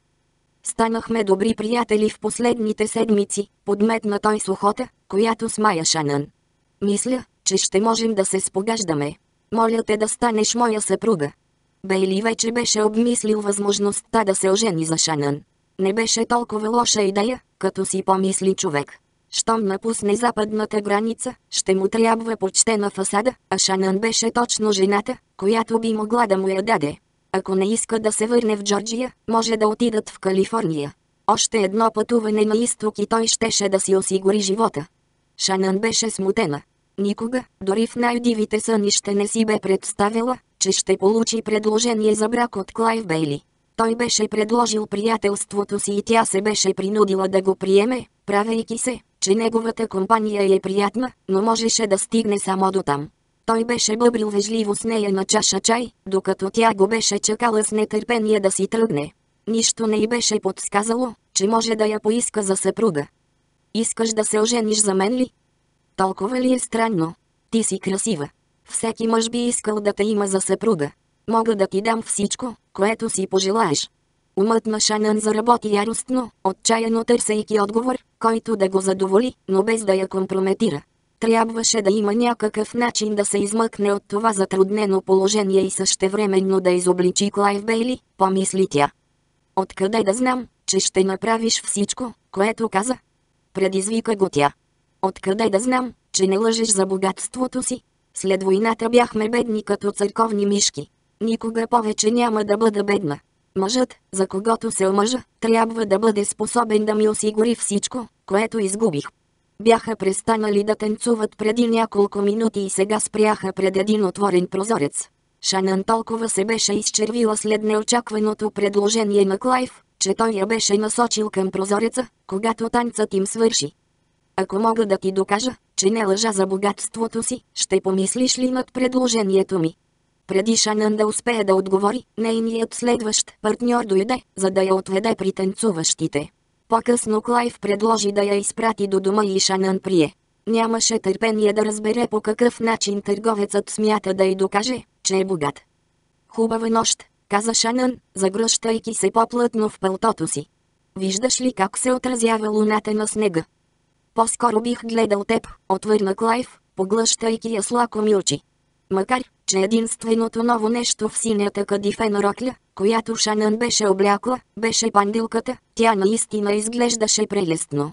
Прилепналият корсаж беше с достатъчно ниско деколте, за да бъде примамливо, но и достатъчно високо, за да бъде сметнато за скромно. Тъмно-синьото кадифе отиваше на очите и подчертаваше бялата и кожа и богатите кестеняви кадрици, които беше свързала на темето си в красива прическа.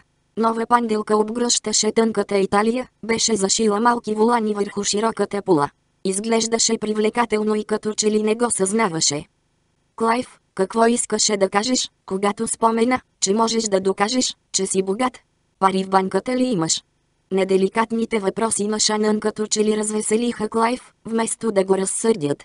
Той я смяташе за практична жена, която иска да знае точно какво може да й предложи мъжът. Нещо по-добро от това, скъпа, имам злато. Много злато, скрито така, че никой не може да го намери. Откъде да знам, че не лъжиш? Предизвика го Шанън. Казах, че ще ти го докажа и ще го направя. Веднага, щом се съгласиш да се оженим, ще ти го покажа. Аз. Трябва да го обмисля, изрече нерешително Шанън. Бяха стигнали пред вратата и тя бръкна в чантичката си, за да извади ключа. Щом отвори вратата, се обърна към него и каза, лека нощ, Клайв. Благодаря, че ме изпрати. Ще помислиш ли върху това, което ти казах? Аз. Да, разбира се. Мога ли да те целуна за лека нощ? Запита той, пристъпвайки към нея, за да я прегърне. Тръпка на отвращение мина през тялото й. Ако дори допирът му я отвръщаваше, какво щеше да стане с целувката, запита се разсеяно Шанън. Но нямаше друг избор, освен да му позволи да я целуне. Щеше да изглежда странно да откаже да целуне мъж, чието предложение за женитба смята да обмисли. И плахо му предложи устните си.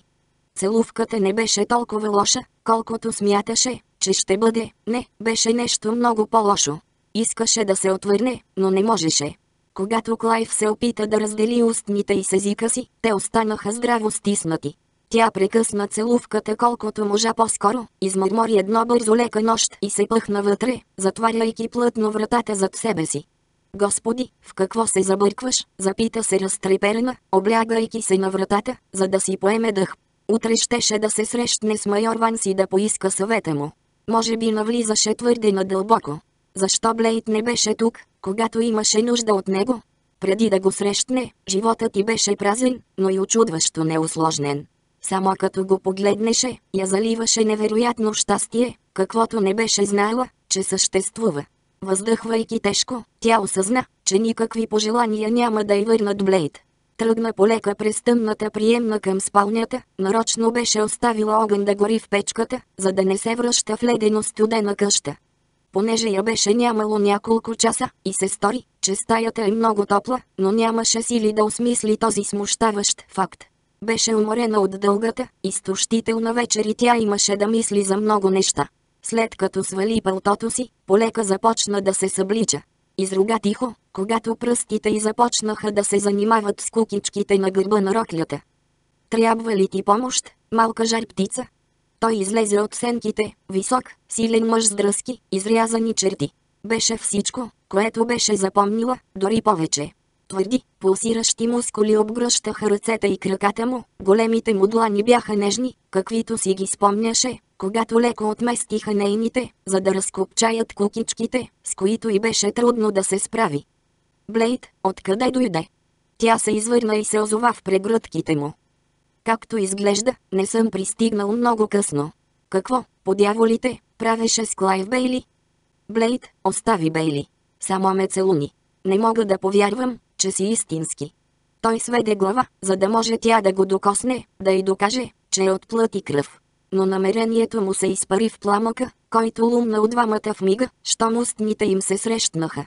Усещането за неговите устни срещу нейните, беше най-прекрасното, което Шанън някога беше изпитвала. Огън се разля из нея, поглъщайки чувствата й. Тя въздъхна, предавайки се изцяло и затвори очи. Езикът му беше бавен, горещ и нежен, пъхвайки се между устните й, докосвайки зъбите, непцето и вътрешността на бузите й.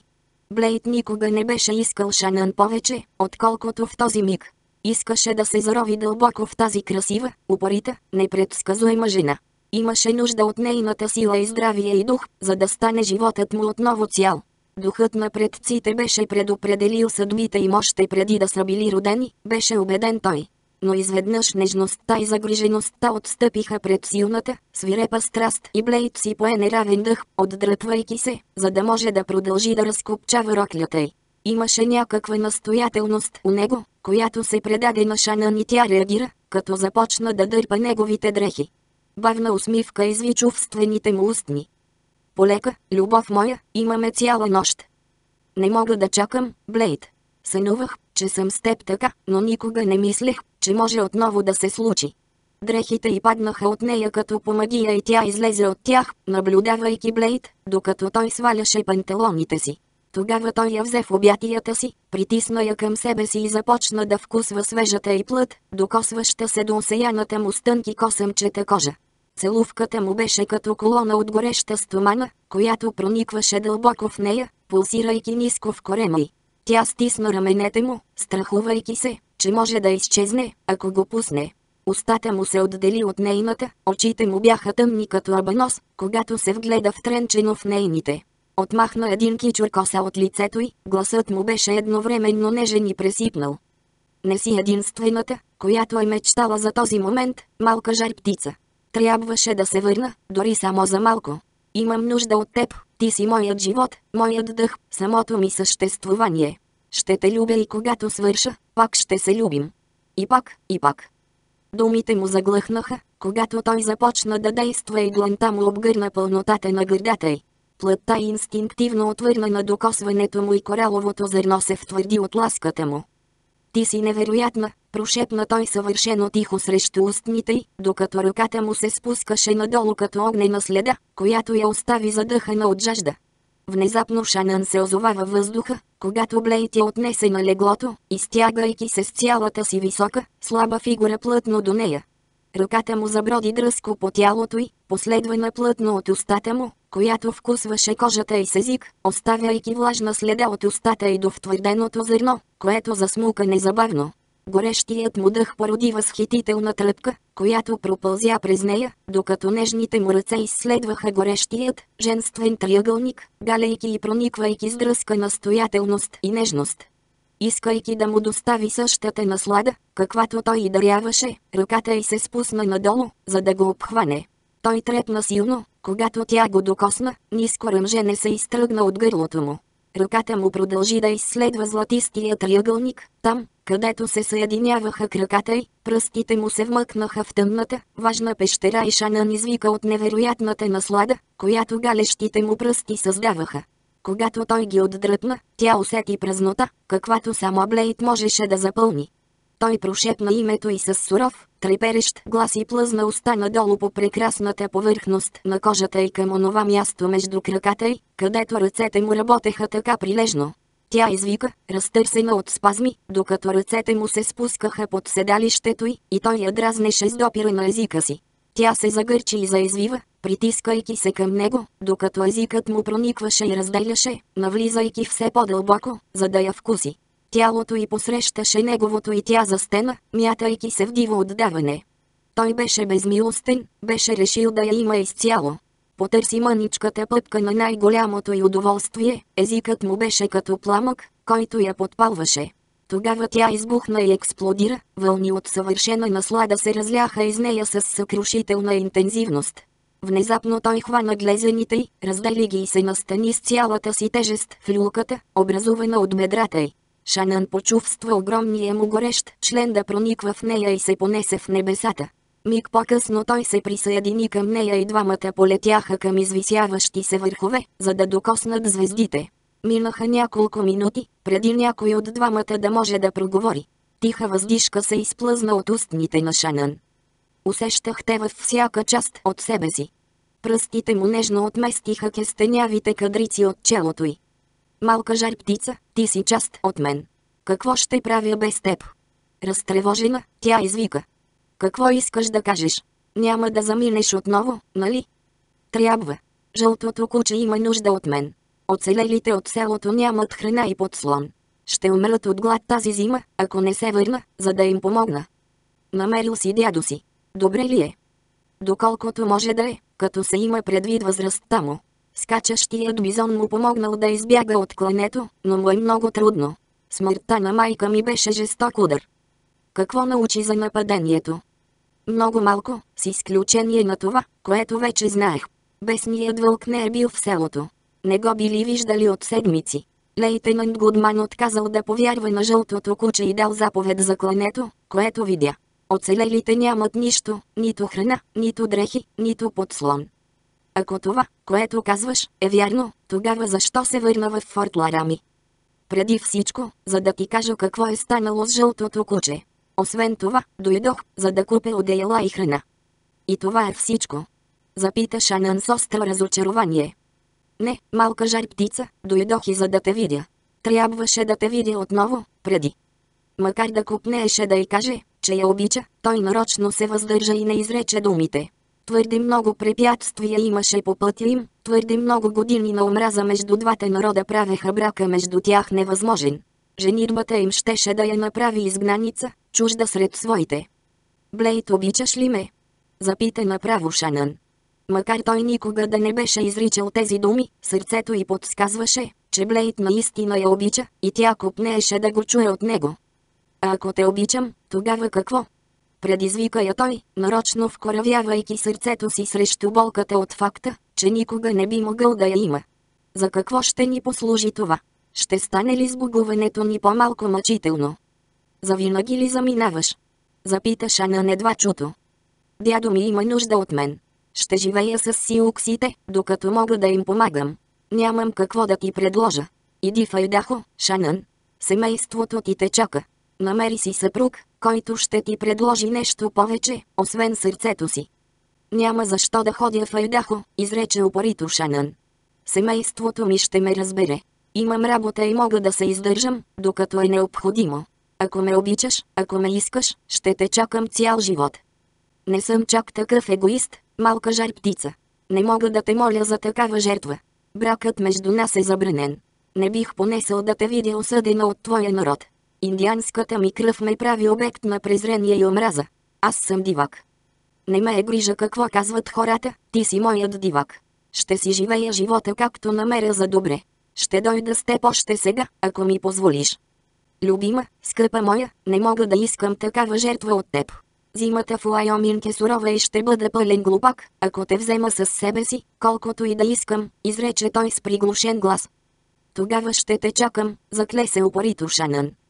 Много неща могат да се случат и да променят намерението ти, предсказа Блейд. Няма да те моля да ме чакаш, но ако още си тук, когато се върна. Думите му замряха, натежали от надежда, но без да изискват нищо. Люби ме отново, Блейд. Люби ме заради всички празни бъдещи дни. Ще го направя, малка жар птица, но няма да ме разсееш толкова лесно този път. Най-напред ми кажи какво правеше с Клайв Бейли. Дълга въздишка се откъсна от устните на Шанън. Беше сметнала, че Блейд се е разсеял достатъчно много и е забравил за Клайв Бейли. Но той беше прекалено проницателен, за да допусне това. Ти какво чу? Достатъчно, за да знам, че си намислила някакъв хитър план. Знам, че го ненавиждаш, но нарочно го накара да повярва, че ще се омъжиш за него. Откъде знаеш? Слушах на прозореца, където вие двамата така удобно се спряхте да поговорите, разкри Блейд. Чух го да се хвали с богатството си, чух и как го подпитваш.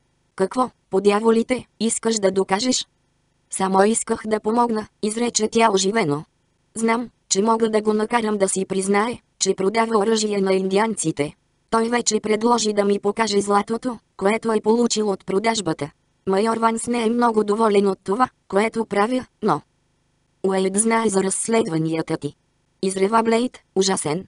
Ще му дам да се разбере, като го видя утре. Не обвинявай майора, Блейд.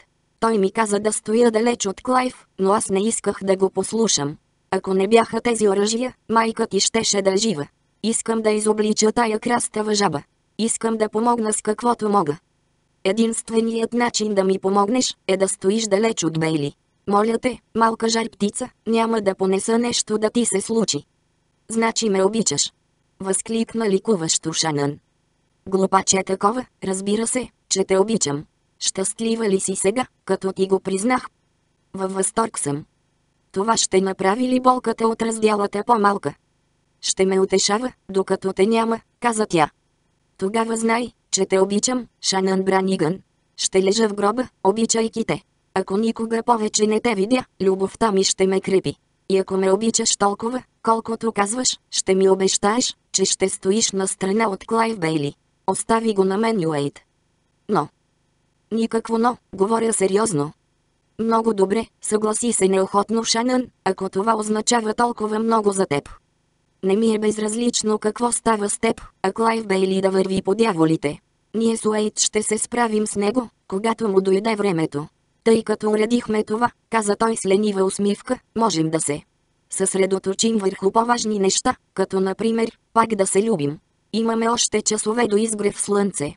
Ръката му обхвана голото и седалище, притискайки телата им едно към друго в палещ екстаз. Дъхът им се сля и стана едно, докато разтворените му устни търсеха и намираха нейните. Нескриваната жажда, която пламтеше помежду им, беше едновременно сладка и мощна. Светът ти се завъртя главозамайващо под напора на целувките му, отнесен във вихъра на бурната страст. Тя посегна да го обхване, усещайки го как пулсира, почувства горещото му семе под дланта си, вдъхна мъжествения му аромат. Сега, Блейд, сега, изпъшка тя, надигайки се над него, за да поеме пулсиращата му, набъбнала дължина в парещата ножница на женствената си плът. Обгръщаше го като ръкавица, гореща и течна, движейки се срещу него в дива агония. Яздеше го в екстаз, карайки го да стене и да се извива към нея, докато засмукваше твърдите и зърна и навлизаше в вибриращата и мекота с непреклонна ярост. Внезапно той размени позициите им, нарочно забавяйки темпото си, и с цялата си сила задържа собственото си освобождение. Искаше всичко да продължава безкрайно, искаше да остане завинаги заровен дълбоко вътре в нея. Те се притискаха един към друг в отчаян купнеж, докато той навлизаше все по-дълбоко и по-дълбоко, изгарен от желанието за удовлетворение. Тялото на Шанан замря от наслада, толкова умопомрачителна, че трябваше да прехапе устни, за да задържи вика си. Блейт усети трепета дълбоко в нея. О, толкова е сладко, пое си той дъх, сякаш изпаднал в агония. Усещам спазмите ти, толкова си стегната, толкова е хубаво. Ах, Шанън, не мога да се удържа. Обичам. Те, изпъшка тя, не можейки да контролира думите, които излизаха от устата й. Сдържаността му избухна в разтърсващо освобождение, думите й барабаняха по мозъка му, докато тялото му се разтърсваше от непрекъснати вълни замайваща наслада. Когато се върнаха от невероятното си пътуване, двамата се взряха един в друг за няколко безкрайни момента, здраво прегърнати, потънали в благоговейно мълчание след експлозивното блаженство, което бяха споделили. Не можейки да изрече и дума, Блейт остави мислите си да тичат на всички посоки. Дори никога повече да не се срещнеха, той имаше достатъчно много сладки спомени, които щяха да траят завинаги. Само трябваше да затвори очи и Шанън щеше да бъде там. Никой не можеше да му отнеме факта, че той беше мъжът, който я беше въвел в женствеността и я беше научил какво означава страст. В неговите ръце тя беше станала жена, неговата жена. И тя му беше дала вкуса на онази любов, каквато малцина изпитваха в живота си. Блейд, за какво мислиш? Че ми харесва да се будя и ти да си в ръцете ми, всеки ден, докато съм жив. Шанън беше решена да не плаче на следващата сутрин, когато Блейд се сбогуваше с нея. Само да не беше го казал така твърдо, сякаш не очакваше повече да я види. Не я познаваше добре, ако смяташе, че тя ще промени намерението си да го чака. Защото любовта идваше само веднъж и тя щеше да го чака винаги, ако се наложи, докато той бъдеше готов да се обвърже с нея за цял живот. Тя разбираше загрижеността за дядо му и това, че той иска да помогне на своя народ, и се молеше Блейд да не реши да остане завинаги при сиуксите. Беше живял 10 години в света на белите и Шанан разчиташе, че привличането на цивилизацията и любовта, която споделяха, щяха да го върнат при нея. 14. Хладният прием на Шанан остави Клайв Бейли да се люшка в съмнения. Коледа дойде и си отиде. Шанан върна скъпия му подарък с учтива бележка и отклони предложението му да я придружи на новогодишния бал, като вместо това избра да отиде заедно с един боязлив млад лейтенант, който не й поставяше никакви изисквания. За съжаление, Клайв успя да я притисне въгъла по време на танците за голямо нейно неудоволствие. «Защо ме отбягваш, Шанън?» Запита той, когато я намери сама в един рядък момент между танците. Аз. Не те отбягвам, заекна тя, припомняйки си обещанието, дадено на Блейд. Забрави ли плантацията си? Имам средства да ти я откупя. Говорех сериозно, когато казах, че съм богат. Мога да ти го докажа, ако ми дадеш възможност. Шанън не можа да отговори, защото следващият записан в тефтерчето и партньор, дойде да я покани на поредния танц. По-късно, когато тя отиде да се освежи в стаята за дамите, там я пресрещна Клеер. Жизнерадостната брюнетка продължаваше да се държи с открита враждебност към Шанън, въпреки приятелските си отношения с по-възрастните жени. Пак накара всички мъже да тичат след теб, нападна я Клеер. Надявам се, че си доволна. Нямаш причина да ревнуваш от мен, настоя Шанън. Да ревнувам. Това ли си мислиш? Не ставай смешна. Видях те да говориш с Клайв Бейли тази вечер. Изглежда, е лапнал по теб. Можеше да попаднеш и на нещо по-лошо, нали разбираш? Нямаш роднини тук, в Форт Ларами, и ще направиш добре, ако се омъжиш за човека, стига да те иска. Или още се интересуваш от Метиса, Нямам представа защо ме мразиш и наистина ми е все едно, отвърна Шанън. Какво правя или с кого, не е твоя работа. Само че е. Не ми харесва начинът, по който Роналд те гледа, или начинът, по който флиртуваш с всеки офицер в форта. Въобразяваш си. Няма да взема лейтенант Гудман, ако ще има поднос да ми го дават. Той е отговорен за непредизвикано нападение над невинни хора. Та това са индианци, за Бога. Какво те кара да мислиш, че са били невинни? Блейт е намерил дядо си и е научил истината от него. Бесният вълк не е бил в селото. Видяла си се с Блейд. Изсмя се многозначително Клеер. Имаш си вземане-даване смети са зад гърба ни. Родителите на твоите ученици няма да бъдат във възторг. Как ще се издържаш без работа? Шанан искаше да изкрещи, че обича Блейд, да каже на света колко се гордее, че обича този изключителен мъж. Но имаше нужда от работата, а сега със сигурност не беше моментът да разкрива чувствата си. Ще изглеждаш много глупаво, ако предявиш обвинение, което не можеш да докажеш. Аз съм добра учителка и няма да ти бъде лесно да убедиш хората да ме уволнят. Клеорис сумтя високомерно, осъзнавайки верността на думите на Шанан. Честно казано, тя наистина ревнуваше от тази малка вещица. Би дала всичко, само и само Блейд да погледнеше нея по този начин, както го беше виждала да гледа Шанан. От него лъхаше сила и сексуалност и Клеър завиждаше на жената, която изпитваше любов в прегръдките на такъв жизнен и агресивен мъж като Блейд. Клеър не беше невинната девойка, за каквато я смятаха всички. Беше вкусила страстта още в ранна възраст, след като се беше отдала на един сластолюбив редник в поредното местоназначение на баща си. От тогава гледаше да пази връзките си в тайна, заплашвайки, че ще каже, че е била изнасилена, ако историята се разчуе. Нарочно избираше млади войници, треперещи пред ранга на баща които се страхуваха от евентуалните последици, ако бъдеха разкрити. Даже лейтенант Гудман не знаеше за похожденията й, защото тя го беше накарала да повярва, че е отнел девствеността и първия път, когато се бяха любили. На Клеари се искаше да прибави и Блейд към списъка си с завоевания, но той никога не беше показвал и най-малък интерес към нея като към жена. Ако ме извиниш, Клеър, партньорът ми ме чака. Шанан стана и излезе от стаята. Ако погледите можеха да убиват, помисли тя, сигурно щеше да вади кинжали от гърба си. Февруари 1868 донесе неочаквано затопляне в иначе ледената зима, за голямо удоволствие на Шанан. Но не само това я радваше, макар да беше шокирана от идеята.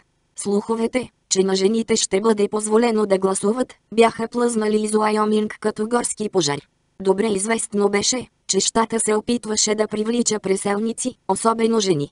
Но много малко бяха склонни да се озоват лице в лице с суровите индианци от равнините и с тежките атмосферни условия.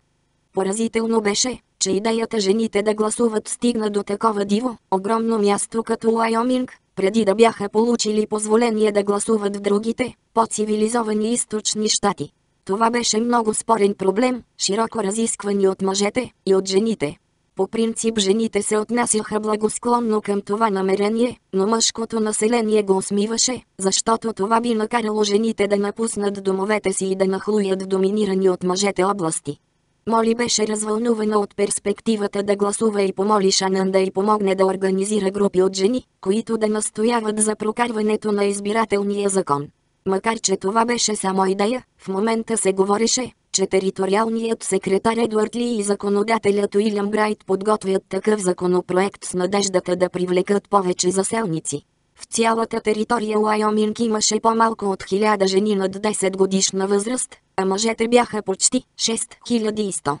На изток жени като Анна Дикинсън и красивата Редилия Бейтс проповядваха продължително и упорито в полза на правата на жените и молитеше надежда, че един ден те ще дойдат и в Уайоминг да изнесат лекции. Междувременно, Шанан се съсредоточи върху обучението на поверените на грижите и деца, наслаждавайки се на предизвикателствата на професията, за което никога преди не беше мислила. Тя знаеше, че майка й, тък и по-малките и братя и сестри ще се гордеят с постиженията й и си пожелаваше да бяха тук, за да я видят. Шанан прекарваше доста време в неспокойни мисли за непокорния си брат Девлин. Той беше такава гореща глава, така невероятно непредсказуем и тя се надяваше, че не се е забъркал в някоя неприятност. Само ако баща й беше останал жив, за да крепи семейството около себе си, вместо. Но беше вече твърде късно да мисли какво би могло да бъде положението. Не минаваше ден, без Шанан да не мисли за Блейд. Беше ли оцелял в суровата зима? Имаше ли достатъчно храна и удобен подслон? Беше ли му топло? Усещаше ли липсата й, както тя усещаше неговата? Един ден през март тя се отправи към факторията на Клайв Бейли малко преди часа за затваряне. Беше се захванала да пече хляб и откри, че няма достатъчно сол за тестото. Надя на пълтото и обувките си и тръгна през скалния плац към магазина. Знаеше, че е късно, но се надяваше факторията още да е отворена, защото искаше да сложи тестото да втасва, преди да си легне. За свое смущение намери магазина празен, когато влезе вътре. Една лампа светеше, оставена на тезгяха, но Клайв не се виждаше никъде. Почти беше решила да вземе султа, която и трябваше, и да плати на Клайв на следващия ден, когато неясни гласове, долитащи от склада, привлякоха вниманието й. Естествено любопитна, тя се примъкна колкото посмя по-близо и се заслуша. Единственият глас, който разпозна, беше този на Клайв Бейли. Другият мъж говореше шепнешком, твърде тихо и тя не можа да разбере кой е. Искам си парите, Бейли. Сега. Бесният вълк ме излъга, плати само половината от това, което обеща, отвърна хитър Бейли. Алчно копеле такова. Знам колко получи за оръжията и си искам моя дял. Аз поех целия риск, възрази Клайв. Аз направих така, че операциите ни да останат незабелязани. Отървах се от агента на правителството, когато любопитството му го отведе твърде близо до истината. Не съм единственият, когато разкритията му щяха да изобличат. Освен това, каза Клайв, имам планове за парите. Ще се женя. След още едно пътуване на изток за още оръжия планирам да се установя в плантация на юг и да заживея като богат плантатор. Ще се жениш. Ти, има ли някоя жена, която да те чака там, на изток? Не, не на изток, похвали се Клайв. Ще се женя за Шанан Браниган. Дрезгав подигравателен смях беше отговорът на поразителното разкритие на Клайв. Ти или си глупак, или луд. Тя няма да те вземе, дори ако имаше два пъти повече пари в джоба си. Престани да шикалкавиш, къде са парите? Нямам време да споря с теб за моя дял от златото. Шанан беше така шокирана от това, което чу, че остана замръзнала на място. Тя нямаше представа, че още един мъж е замесен в нелегалната авантюра на Клайв Бейли. Беше готова да се обзаложи, че нито Блейд, нито майор Ванс имаха представа за това. Кой би могъл да бъде? Някой от цивилните, военен от форта. Майор Ванс със сигурност би искал незабавно да узнае за това развитие на нещата, каза си тя. Обърна се, за да излезе, но в бързината закачи една мотика, облегната на полицата. Тя се олюля и падна на пода. Какво става? Не знам, изсъска Клайв. Стой тук и чакай да видя. Шанан успя да стигне от другата страна на тезгяха, когато Клайв изхвъркна от вратата на склада. Шанан, как влезе? Мислех, че съм заключил вратата. Търговията днес не беше много силна, затова затворих рано, за да подредя някои стоки в склада. Сигурно си забравил да заключиш вратата, Клайв, отвърна Шанън, преглъщайки нервно. Колкото и да се опитваше, не можеше да престане да хвърля бегли погледи към склада. Беше отворено и влязох. Трябва ли ти нещо? Ами да. Сол. Като не видях никого, реших сама да се обслужа и щях да платя по-късно. Закачих мотиката и тя падна на пода. Съжалявам, нещо лошо ли направих? Не, не, просто ме изненада. Както вече споменах, бях в склада, когато чух нещо. Помислих, че е крадец. Или някой от онези досадни индианци, които се навъртат в форта. Те са крадливо племе. Той посегна зад гърба си и взе един пакет сол от рафта. Ето султати скъпа. Шанан бръкна в джоба си, намери една монета и я сложи в ръката му. Благодаря. Е, аз трябва да тръгвам. Имам да пека хляб. Шанан, каза Клайв, снишавайки гласа си до шепот, помисли ли по предложението ми? Защо ме отбягваше през последните седмици? Тя се приготви да отговори сопнато, но после се замисли. Внезапно и хрумна, че може да помогне на Блейт и майор Ванс, независимо дали им харесва или не. Тя беше единствената, която знаеше за втория човек, замесен в контрабандата на оръжия и би могла да научи нещо повече, ако се престорише, че се интересува от брачните планове на Клайв. В действителност, доста помислих над предложението ти, изрече тя полека. Не искам да прекарам остатъка от живота си в бедност. Това, което ми предлагаш, ме изкушава. Не съм те отбягвала нарочно, просто ми трябваше време, за да помисля, без някой да ми влияе. Значи ще се омъжиш за мен. Изграчи въодушевено Клайв и очите му блеснаха възбудено. Беше си мечтал да притежава кестенявата красавица още от момента, когато я беше видял за първи път. Ще ти отговоря на пролетния бал другата седмица, отвърна неопределено Шанан. До тогава тя и майор Ванс със сигурност щяха да имат всички необходими доказателства, за да осъдят и обесят Клайв Бейли и тайния му съдружник. Но ще ти кажа нещо, намекна тя игриво. Твоето предложение е много привлекателно. Да стоя сама в тази пустош не е особено приятно. Сега трябва да вървя, Клайв. Той я изпрати до вратата. Тя беше смутена, когато той я привлече в прегръдките си и я целуна жадно. Първата й реакция беше да му издере очите, за да я пусне, но се въздържа. Жена, която казва, че ще помисли върху брачното предложение на един мъж, не би трябвало да изпитва отвращение от прегръдката му. Затова се направи, че я е приятно и изтърпя целувката му до края. После се отдели от него и изхвъркна от магазина. Бейли заключи вратата зад Шанан и се върна бързо в склада с глупашка усмивка, залепена на лицето му. Какво искаше? Чула ли е нещо? Бях забравил да заключа вратата. Шанан просто искаше да купи малко сол. Говореше твърде тихо, за да чуя какво казваш. Тя държеше ли се така, сякаш е чула разговора ни? Не би могла да чуе каквото и да било, настоя Клайв. Стоеше от другата страна на тезгяха. Защо си толкова сигурен? Може би трябва да я проследя. Ако отиде другаде, а не у дома си, можем да предположим, че ни е чула и отива да съобщи за разговора ни. Какво ще правиш? Извика Клайв, когато мъжът излезе през задната врата. Нищо, изсъска той, освен ако ми се стори, че малката кучка знае какво сме намислили да. Думите му отлетяха, когато той потъна в сенките. Шанан прекоси бързо плаца, без да подозира, че я следят. Ставаше все по-тъмно и по-студено, затова тя се надяваше, че майор Ванс си е у дома в този късен вечерен час. За съжаление, него го нямаше. Тя научи от ординареца му, че майорът е извикан на съвещание в щаба, което ще продължи повече. Според нея, информацията й беше достатъчно важна, затова се запъти право към щаба. Сержант Уилсън седеше на бюрото в приемната. Мога ли да ви помогна с нещо, госпожице Браниган? Запита той предпазливо, припомняйки си последния път, когато Шанън беше нахлула при полковника, без да дочака разрешение. Майор Ван тук ли е?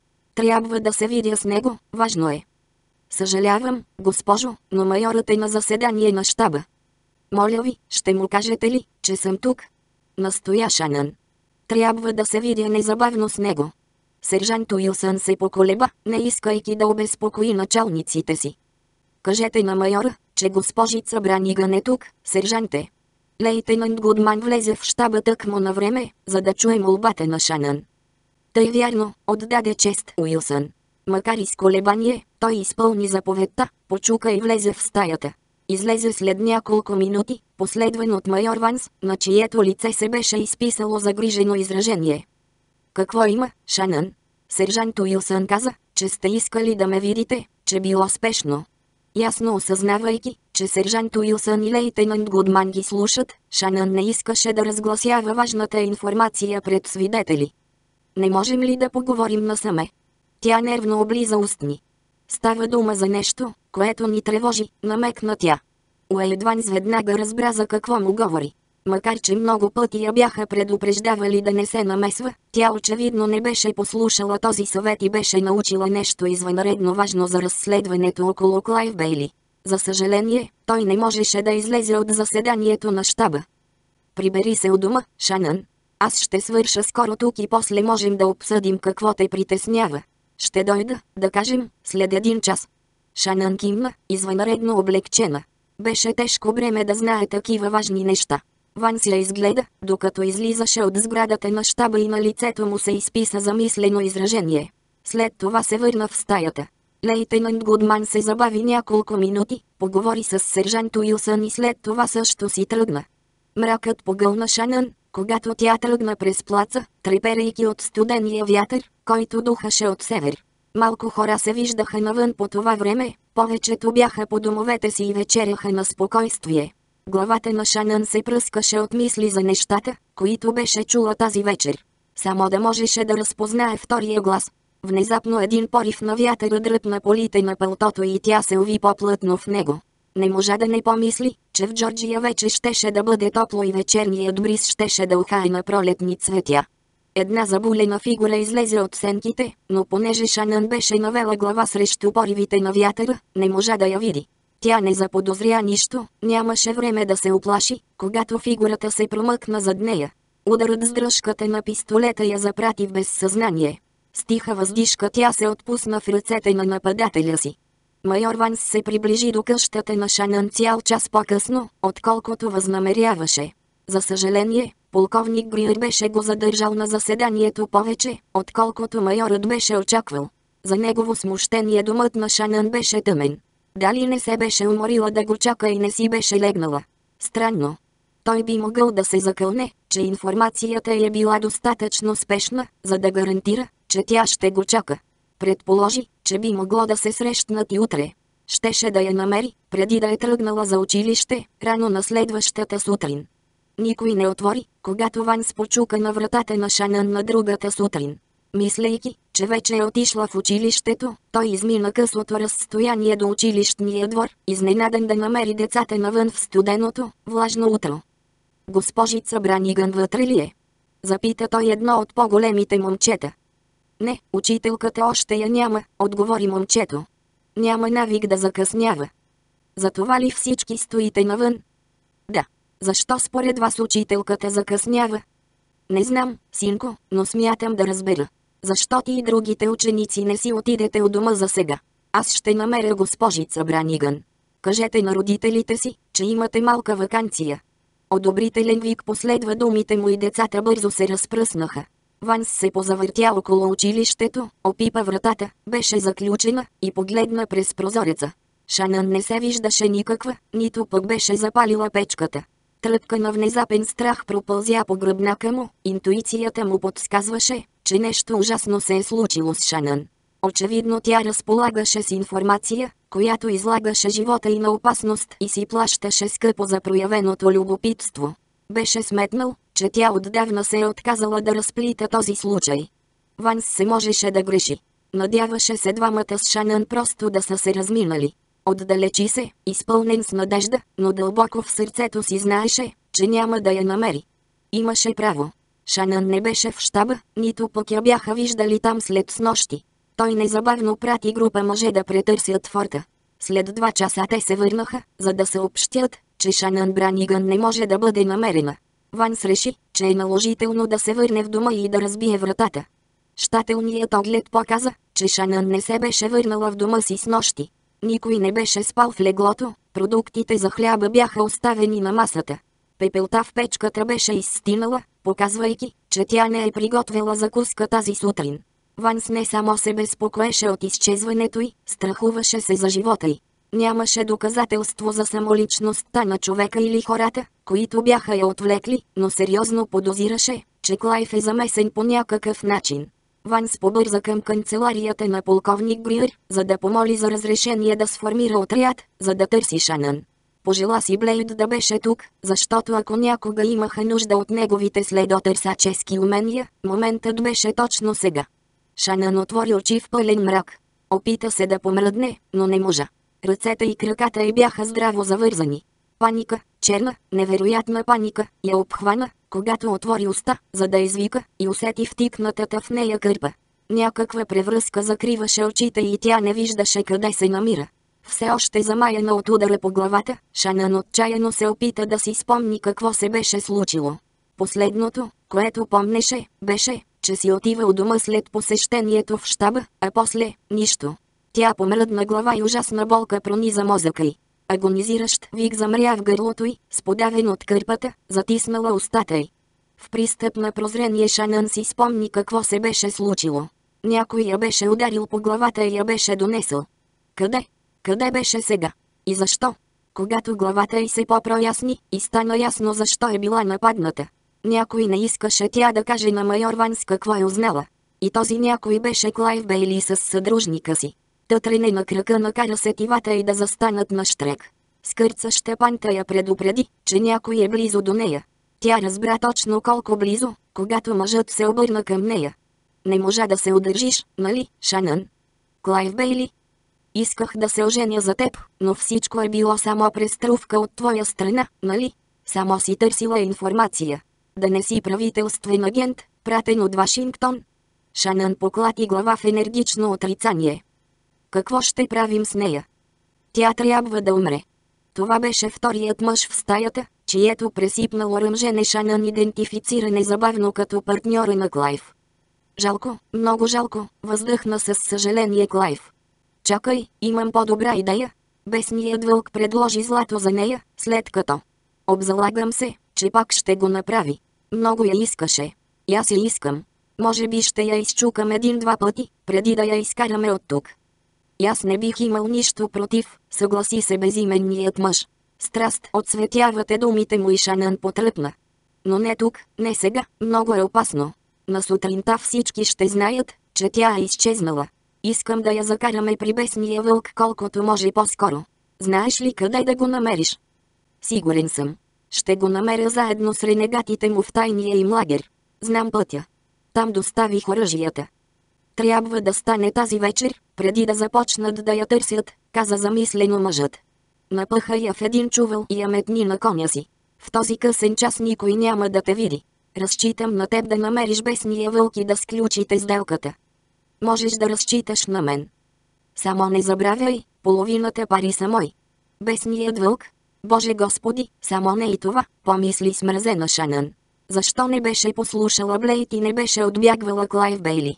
Усети, че отново е сама и започна да дърпа въжетата, но без никаква полза. Беше овързана като коледна гъска. Изтощението скоро сложи край на усилията й. Ако не измислеше в скоро време нещо, щеше пак да свърши като пленница на бесния вълк. След два часа Клайв Бейли и партньорът му се върнаха. Въпреки ожесточената и съпротива Шанън беше натикана в един чувал и изнесена от стаята, която, както и се струваше, беше складът на факторията на Бейли. Въздухът излезе с тласък от дробовете й, когато се озова метната на седлото на един кон. Животното вървя известно време, водено от някого, преди един мъж, който тя предположи, че беше Клайв Бейли, да се качи зад нея и да препусне в галоп в нощта. Тъй като майор Ванс беше единствения, освен Блейд, който знаеше за участието на Клайв Бейли в контрабандата на оръжия, той отиде сам в факторията, за да види какво ще може да разкрие.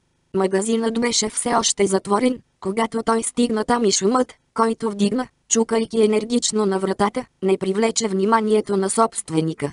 Ванс не почувства никакво огризение на съвестта, когато разби вратата. Усърдното претърсване на жилището на Бейли, магазина и склада не разкри нищо. Но самият факт, че Бейли отсъстваше, беше достатъчно доказателство за майора. Той твърдо вярваше, че Бейли е отговорен за изчезването на Шанън. Един час по-късно Ванс получи благословията на полковник Бриер да изведе колона мъже от форта, за да търсят Шанън. Майор Ванс, бих искал да дойда с вас. Тръгваме веднага, лейтенант Гудман. Готов съм. Искам да помогна да хванем негодника, който е отвлякал госпожица Браниган. Тя е изключителна млада дама. Разрешавам, лейтенанте. Оседлавайте. Тръгваме след 5 минути. Колкото повече се приближаваше Блейд до форта, толкова повече се тревожеше. Дали Шанън още ще го чака? Не я беше виждал повече от три месеца, три дълги месеца люд студ, глад и лишения, които се бяха оказали свръх силите на жълтото куче. Той умря преди месец от пневмония и осложненията от раните, които беше получил по време на клането.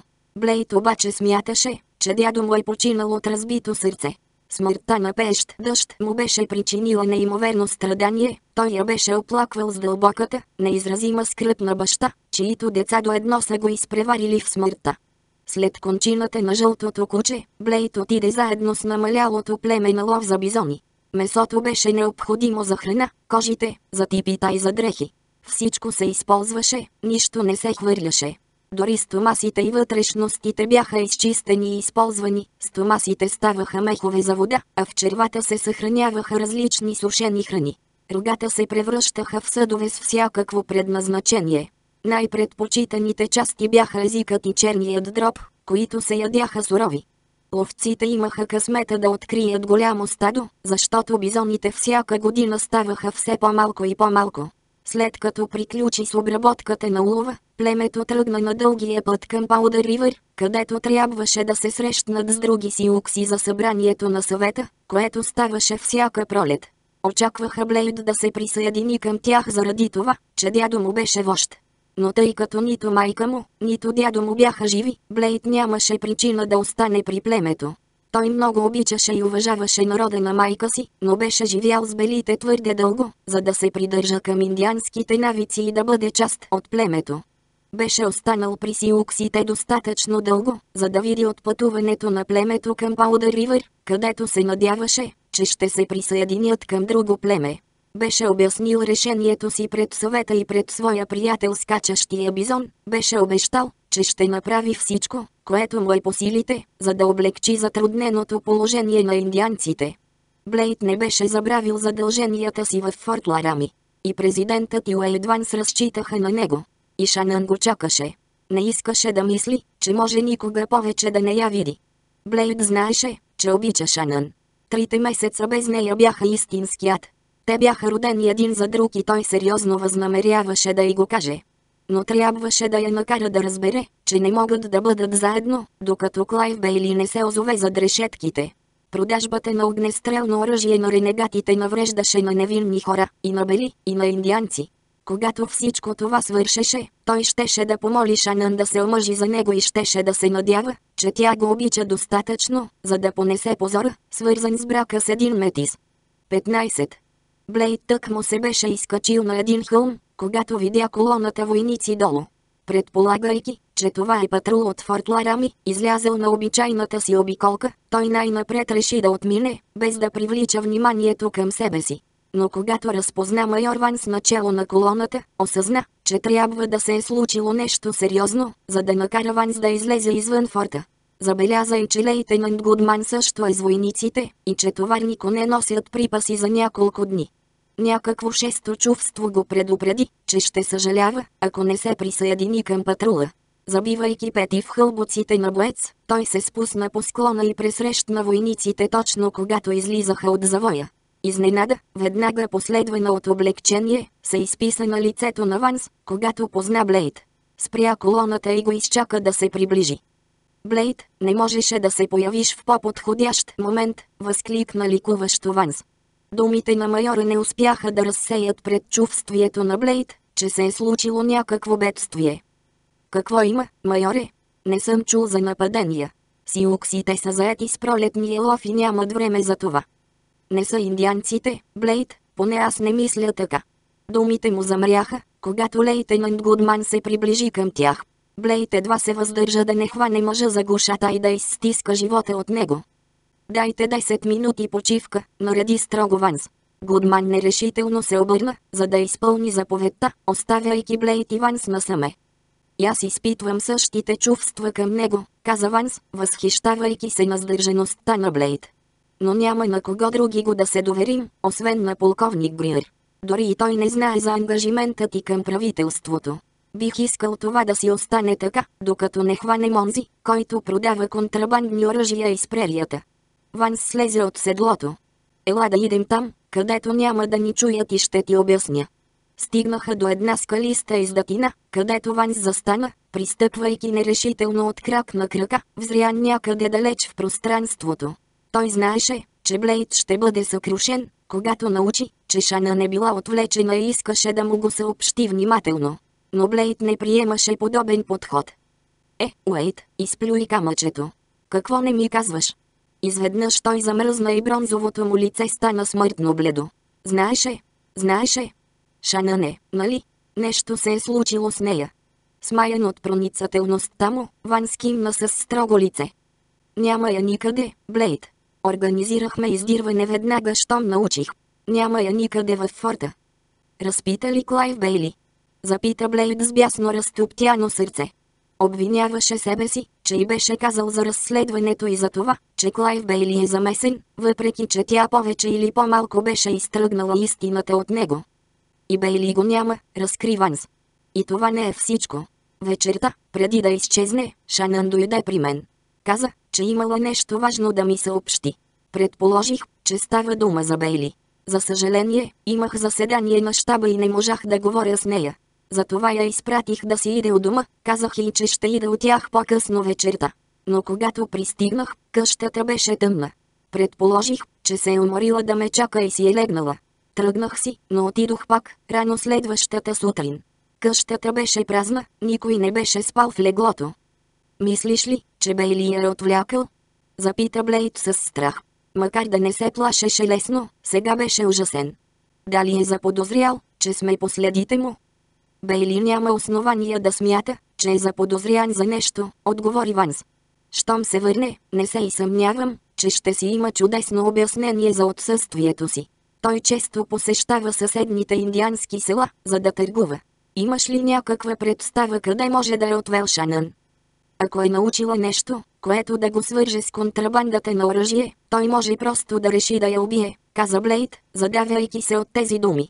Възможно ли е бесният вълк да я е отвлякал? Когато пожелае нещо, рядко се отказва.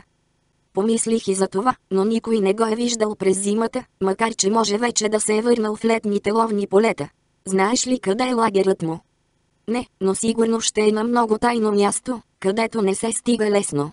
Мисля, че трябва да действаме, като приемем, че Бейли е отвлякал Шанън и да се опитаме да намерим следите му.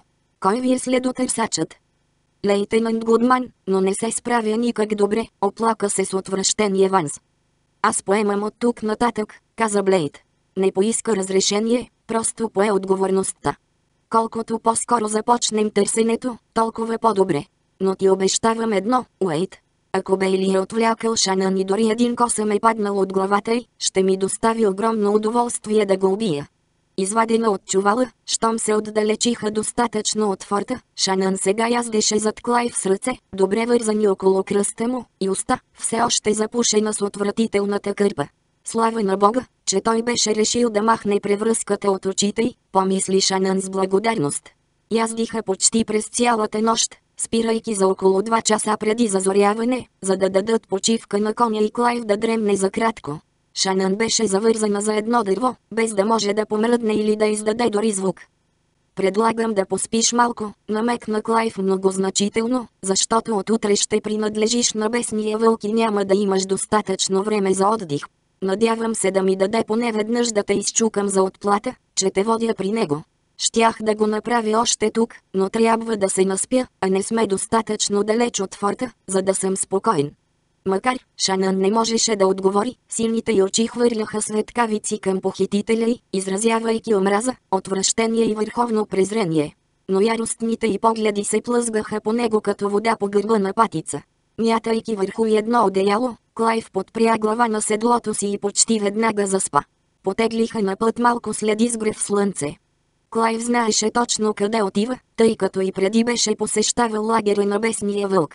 Само се надяваше ренегатът да е там, а не да е предприел някое нападение. Не искаше лично да убива Шанън, но ако се стигнеше до там, нямаше да изпита никакви огризения. Нямаше защо да се притеснява. Бесният вълк беше в лагера си, заедно с десетина от своите хора. Очите на индианеца се разшириха очудено, когато видя Клайв Бейли да влиза в лагера му с малката жар птица, вързана на седлото зад него. Изчака пред типито си, докато Клайв спираше пред него, развърза ръцете на Шанън и полека я смъкна на земята. Клайв зачака бесния вълк да заговори пръв, защото не искаше да ядосва избухливия ренегат. Пронизителните черни очи на бесния вълк не се отдаляха от лицето на Шанън, докато той се обръщаше към Клайв на развален английски. Защо си ми докарал малката жар птица? Знаеше го, но искаше да го чуе от устата на Клайв. Бесният вълк не изпитваше нищо друго, освен презрение към търговеца, осъзнавайки, че алчен човек като Клайв Бейли би продал и собствената си майка срещу прилична цена. Мислех, че я искаш, отговори Клайв, облизвайки нервно устни. Индианците го изнервяха, особено ренегатите като бесния вълк. Забърках се в големи неприятности, за да ти доведа Шанан Браниган. Очаквам да бъда съответно възнаграден. Направи ли нещо? Не съм я пипнал, можеш сам да се увериш, че е в прекрасно състояние. Обеща ми злато, ако ти я доведа. Най-напред ще пушим, после ще си получиш златото, каза високомерно бесният вълк. Доведи жената. Той се обърна и влезе в типито си, без да оставя на Клайв никакъв избор, освен да го последва. Хващайки Шанън за ръката, той я повлече след себе си. Блейд, имам нужда от теб, безмълвно се молеше Шанън. Дори само името му и придаде смелост. Той вече я беше спасил веднъж от бесния вълк, може би. Но не, Блейд беше на мили от тук, помагайки на дядо си да задържи хората от племето заедно. Нямаше откъде да узнае, че тя има нужда от него. Шанън знаеше, че това, което е намислил бесният вълк за нея, няма да бъде никак приятно, но тя някак си щеше да оцелее. По някакъв начин, двамата с Блейд щяха да се съберат отново. Но дали той пак щеше да я иска, след като бесният вълк я оскверни? Щом се озова в типито, Шанън беше грубо бутната на земята. Усети едни ръце да се занимават с превръзката на устата и вдигна очи, за да види бесния вълк, който изваждаше оскърбителния парцал от устата й. Вода, изпъшка тя, отчаяно искайки да накваси пресъхналото си гърло. Устата й бе запушена още откакто бяха напуснали форта. Бесният вълк изсумтя, подавайки един кожен мях, пълен с вода. Тя го вдигна към устата си и отпи жадно. Когато се засити, остави меха и изгледа бесния вълк право в очите. Няма да остана тук. Този. Тази крастава жаба не може да ме продава. Той не ми е господар, никой не ми е господар. Тихо, жено, иначе пак ще ти запуша устата. После, без да й обръща повече внимание, индианецът изгледа Клайв Бейли с пронизителните си черни очи. Каква е цената ти за жената, търговецо? Шанан никога не се беше чувствала така унизена, когато двамата започнаха да обсъждат атрибутите из думи, които накараха бузите и да пламнат. След няколко минути те сключиха сделката, като се разбраха за цена, която накара Шанан да ахне. Откъде бесният вълк ще има толкова злато? Тя беше смаяна до безкрайност, когато Бейли заяви дръско. Искам да я имам веднъж, преди да ти я продам. Това е част от сделката. Или ще я имам, или няма сделка. Очите на бесния вълк се стесниха опасно. Мога да те убия още сега и да задържа малката жар птица и златото. Но няма да го направиш, заяви самодоволно Клайв. Кой ще те снабдява с оръжия, ако умра? Сигурно вече нямаш много амуниции. Аз имам много в моя магазин. Лицето на бесния вълк замръзна, без да показва върховното презрение и омраза, които изпитваше към Бейли. Щеше да го убие веднага, ако нямаше нужда от онова, което можеше да му докара търговецът. Колкото до малката жар птица, вече не искаше да я направи своя съпруга. Тя го беше презряла, него, великия войн, и беше легнала с един метис. Той още я искаше, само като я погледнеше, слабините му се издуваха от страст. Щеше да има малката жар птица. О, да, но само като негова курва. И този път, щеше да я сподели с приятелите си. Търговецът също я искаше. И ако бесният вълк не искаше да прекрати притока на оръжия и амуниции сега, когато имаха нужда от тях за оцеляването си, трябваше да уважи желанието на търговеца, макар никак да не му се искаше. Можеш да имаш малката жар птица, търговецо, за една нощ, каза бесният вълк неохотно. След това става наша. Не. Извика Шанън, гневът я накара да загуби предпазливостта си, тя скочи на крака и нападна стреснатия индианец. Реакцията му беше бърза и безпогрешна, той вдигна ръка и я удари с опакото на дланта си, влагайки в удара цялата си сила. Шанън отлетя настрани.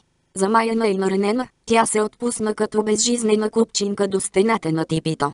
Бесният вълк се изправи рязко. Ела, каза той на Бейли, който гледаше в тренчено Шанън, сякаш искаше веднага да се стовари върху и да я похити. Първо ще пием от уискито на белите, а после ще се забавляваш с жената до насита. Искам я сега, изхленчи Бейли, потърквайки с неприличен жест издутите си слабини. Не знам дали мога да чакам. Бели мъже. Фу. Изсумтя подигравателно бесният вълк. Всичките сте слаби, хленчещи създания, без никаква воля. Първо ще пием, после ще вземем жената. Ела, уискито е добро. Взехме го при последното нападение. Бейли знаеше, че е по-добре да не спори. После щеше да има Шанън, нямаше да му струва много угоди на бесния вълк. Хвърляйки към нея поглед, изпълнен с сладострастни обещания, той излезе от типито, следвайки ренегата. Макар и замаяна, Шанън знаеше, че времето изтича. След като Бейли се възползваше от нея, бесният вълк и неговите приятели щяха да осквернят тялото й, може би дори щяха да я убият, ако им се противопоставеше. Блейд, Блейд, извика тя в безмълвна молба. Нищо, което ми направят, няма да промени чувствата ми към теб. Докато Шанън трепереше от ужас в типито, бесният вълк и неговите войни седяха в кръг, подавайки си един на друг бутилки с уиски и полека се напиваха. Дори Бейли се почувства замаян, но не чак толкова пиян, че да забрави за жената, която го чакаше в типито. Изведнъж той се изправи, олюлявайки се несигурно. Стига толкова. Лицето му беше решително, гласът суров и нетърпелив. Искам жената, и то веднага. Заклатушка се към типито, забелязвайки с удовлетворение, че бесният вълк не направи никакво движение, за да го спре. Индианецът само изсумтя в отговор, прекалено пиян, за да се интересува. Скоро малката жар птица щеше да бъде изцяло на негово разположение. И на неговите войни. Какво значение щеше да има, че търговецът ще я вземе сега? Махвайки небрежно с ръка, Бейли отпрати стража, когато бесният вълк беше поставил на пост и влезе, спускайки зад себе си кожата на отвора. Не ме докосвай, подло копеле такова, изсъска Шанън, когато Бейли пристъпи към нея. Блейд ще те убие заради това. Суивд Блейд. Ба, трябваше да се досетя, че този дивак няма да си държи мръсните ръце далеч от теб. Дала си му да те изчука, а пък аз те мислех за невинна. Сега ще разбереш какво е да имаш истински мъж между краката си. Няма да ти бъде лесно, предупреди го Шанън, готвейки се да се бори на живот и смърт. Така ми харесва, отвърна Бейли, хилейки се злобно, докато махаше въжето от колана си и пристъпваше полека към нея. Виждаш ли Бейли или Шанън? Запита тихо майор Ванс. Изцяло благодарение на следотърсаческите умения на Блейд патрулът успя да намери лагера на бесния вълк. Беше умело разположен сред група високи канадски тополи, близо до един бърз ручей в подножието на ниски, заоблени хълмове. Не се изненадаха, когато следите на Бейли ги отведоха право в лагера на бесния вълк. Блейд, Ванс и патрулът се притаиха зад единия от хълмовете, точно над лагера, откъдето виждаха и ренегатите, и кръга от типита. Не, но един кон, вързан при индианските понита, е подкован, прошепна Блейд в отговор. Можем само да предполагаме, че Бейли е някъде тук, вероятно в някой от типитата. Двамата размениха притеснени погледи, осъзнавайки какво може да означава това за Шанън, но не искаха да изразят на глас страховете си. Те са пияни, каза Ванс, кимвайки към индианците долу. Прав си, Уейт, съгласи се Блейд. Сигурно пият уиски, откраднато от керваните, които са нападали. Дай сигнал на хората си. Няма по-добър момент за атака. Онова копеле ми е длъжник и ако е направил нещо на Шанън, ще. Внезапно един пронизителен вик раздра въздуха. Блейд изруга яростно, с помрачняло лице и очи, в които се четеше див страх. Индианците размениха многозначителни усмивки, поглеждайки към типито, където беше влязъл преди малко Бейли. Блейд скочи на кръка. Нищо и никой не можеше да го спре сега. Отивам. Ванс се спусна след него, давайки сигнал на хората си да го последват. Лейтенант Гудман беше само на няколко стъпки след тях. Бесният вълк и ренегатите му нямаха никакъв шанс. Седнали около лагерния огън, те бяха изпили големи количества уиски и лежаха в пиянски унес, когато войниците се изсипаха звой върху тях иззад заобикалящите ги хълмове. Индианците, които бяха достатъчно трезви, за да се защитават, направиха героични усилия да се противопоставят на нападението, но резултатът беше неизбежен. Блейд не се задържа на едно място, за да види как ренегатите отстъпват пред атаката на патрула или как бесният вълк пада под куршума на Уейдванс. Пробиваше си път от типи към типи, търсейки Шанън, надничайки навсякъде, излизаше и продължаваше с отчаяна молитва, дано да я намери на време. Шанън чу врявате навън, но беше твърде заета да отблъсква пиянските атаки на Бейли, за да мисли какво може да означава това.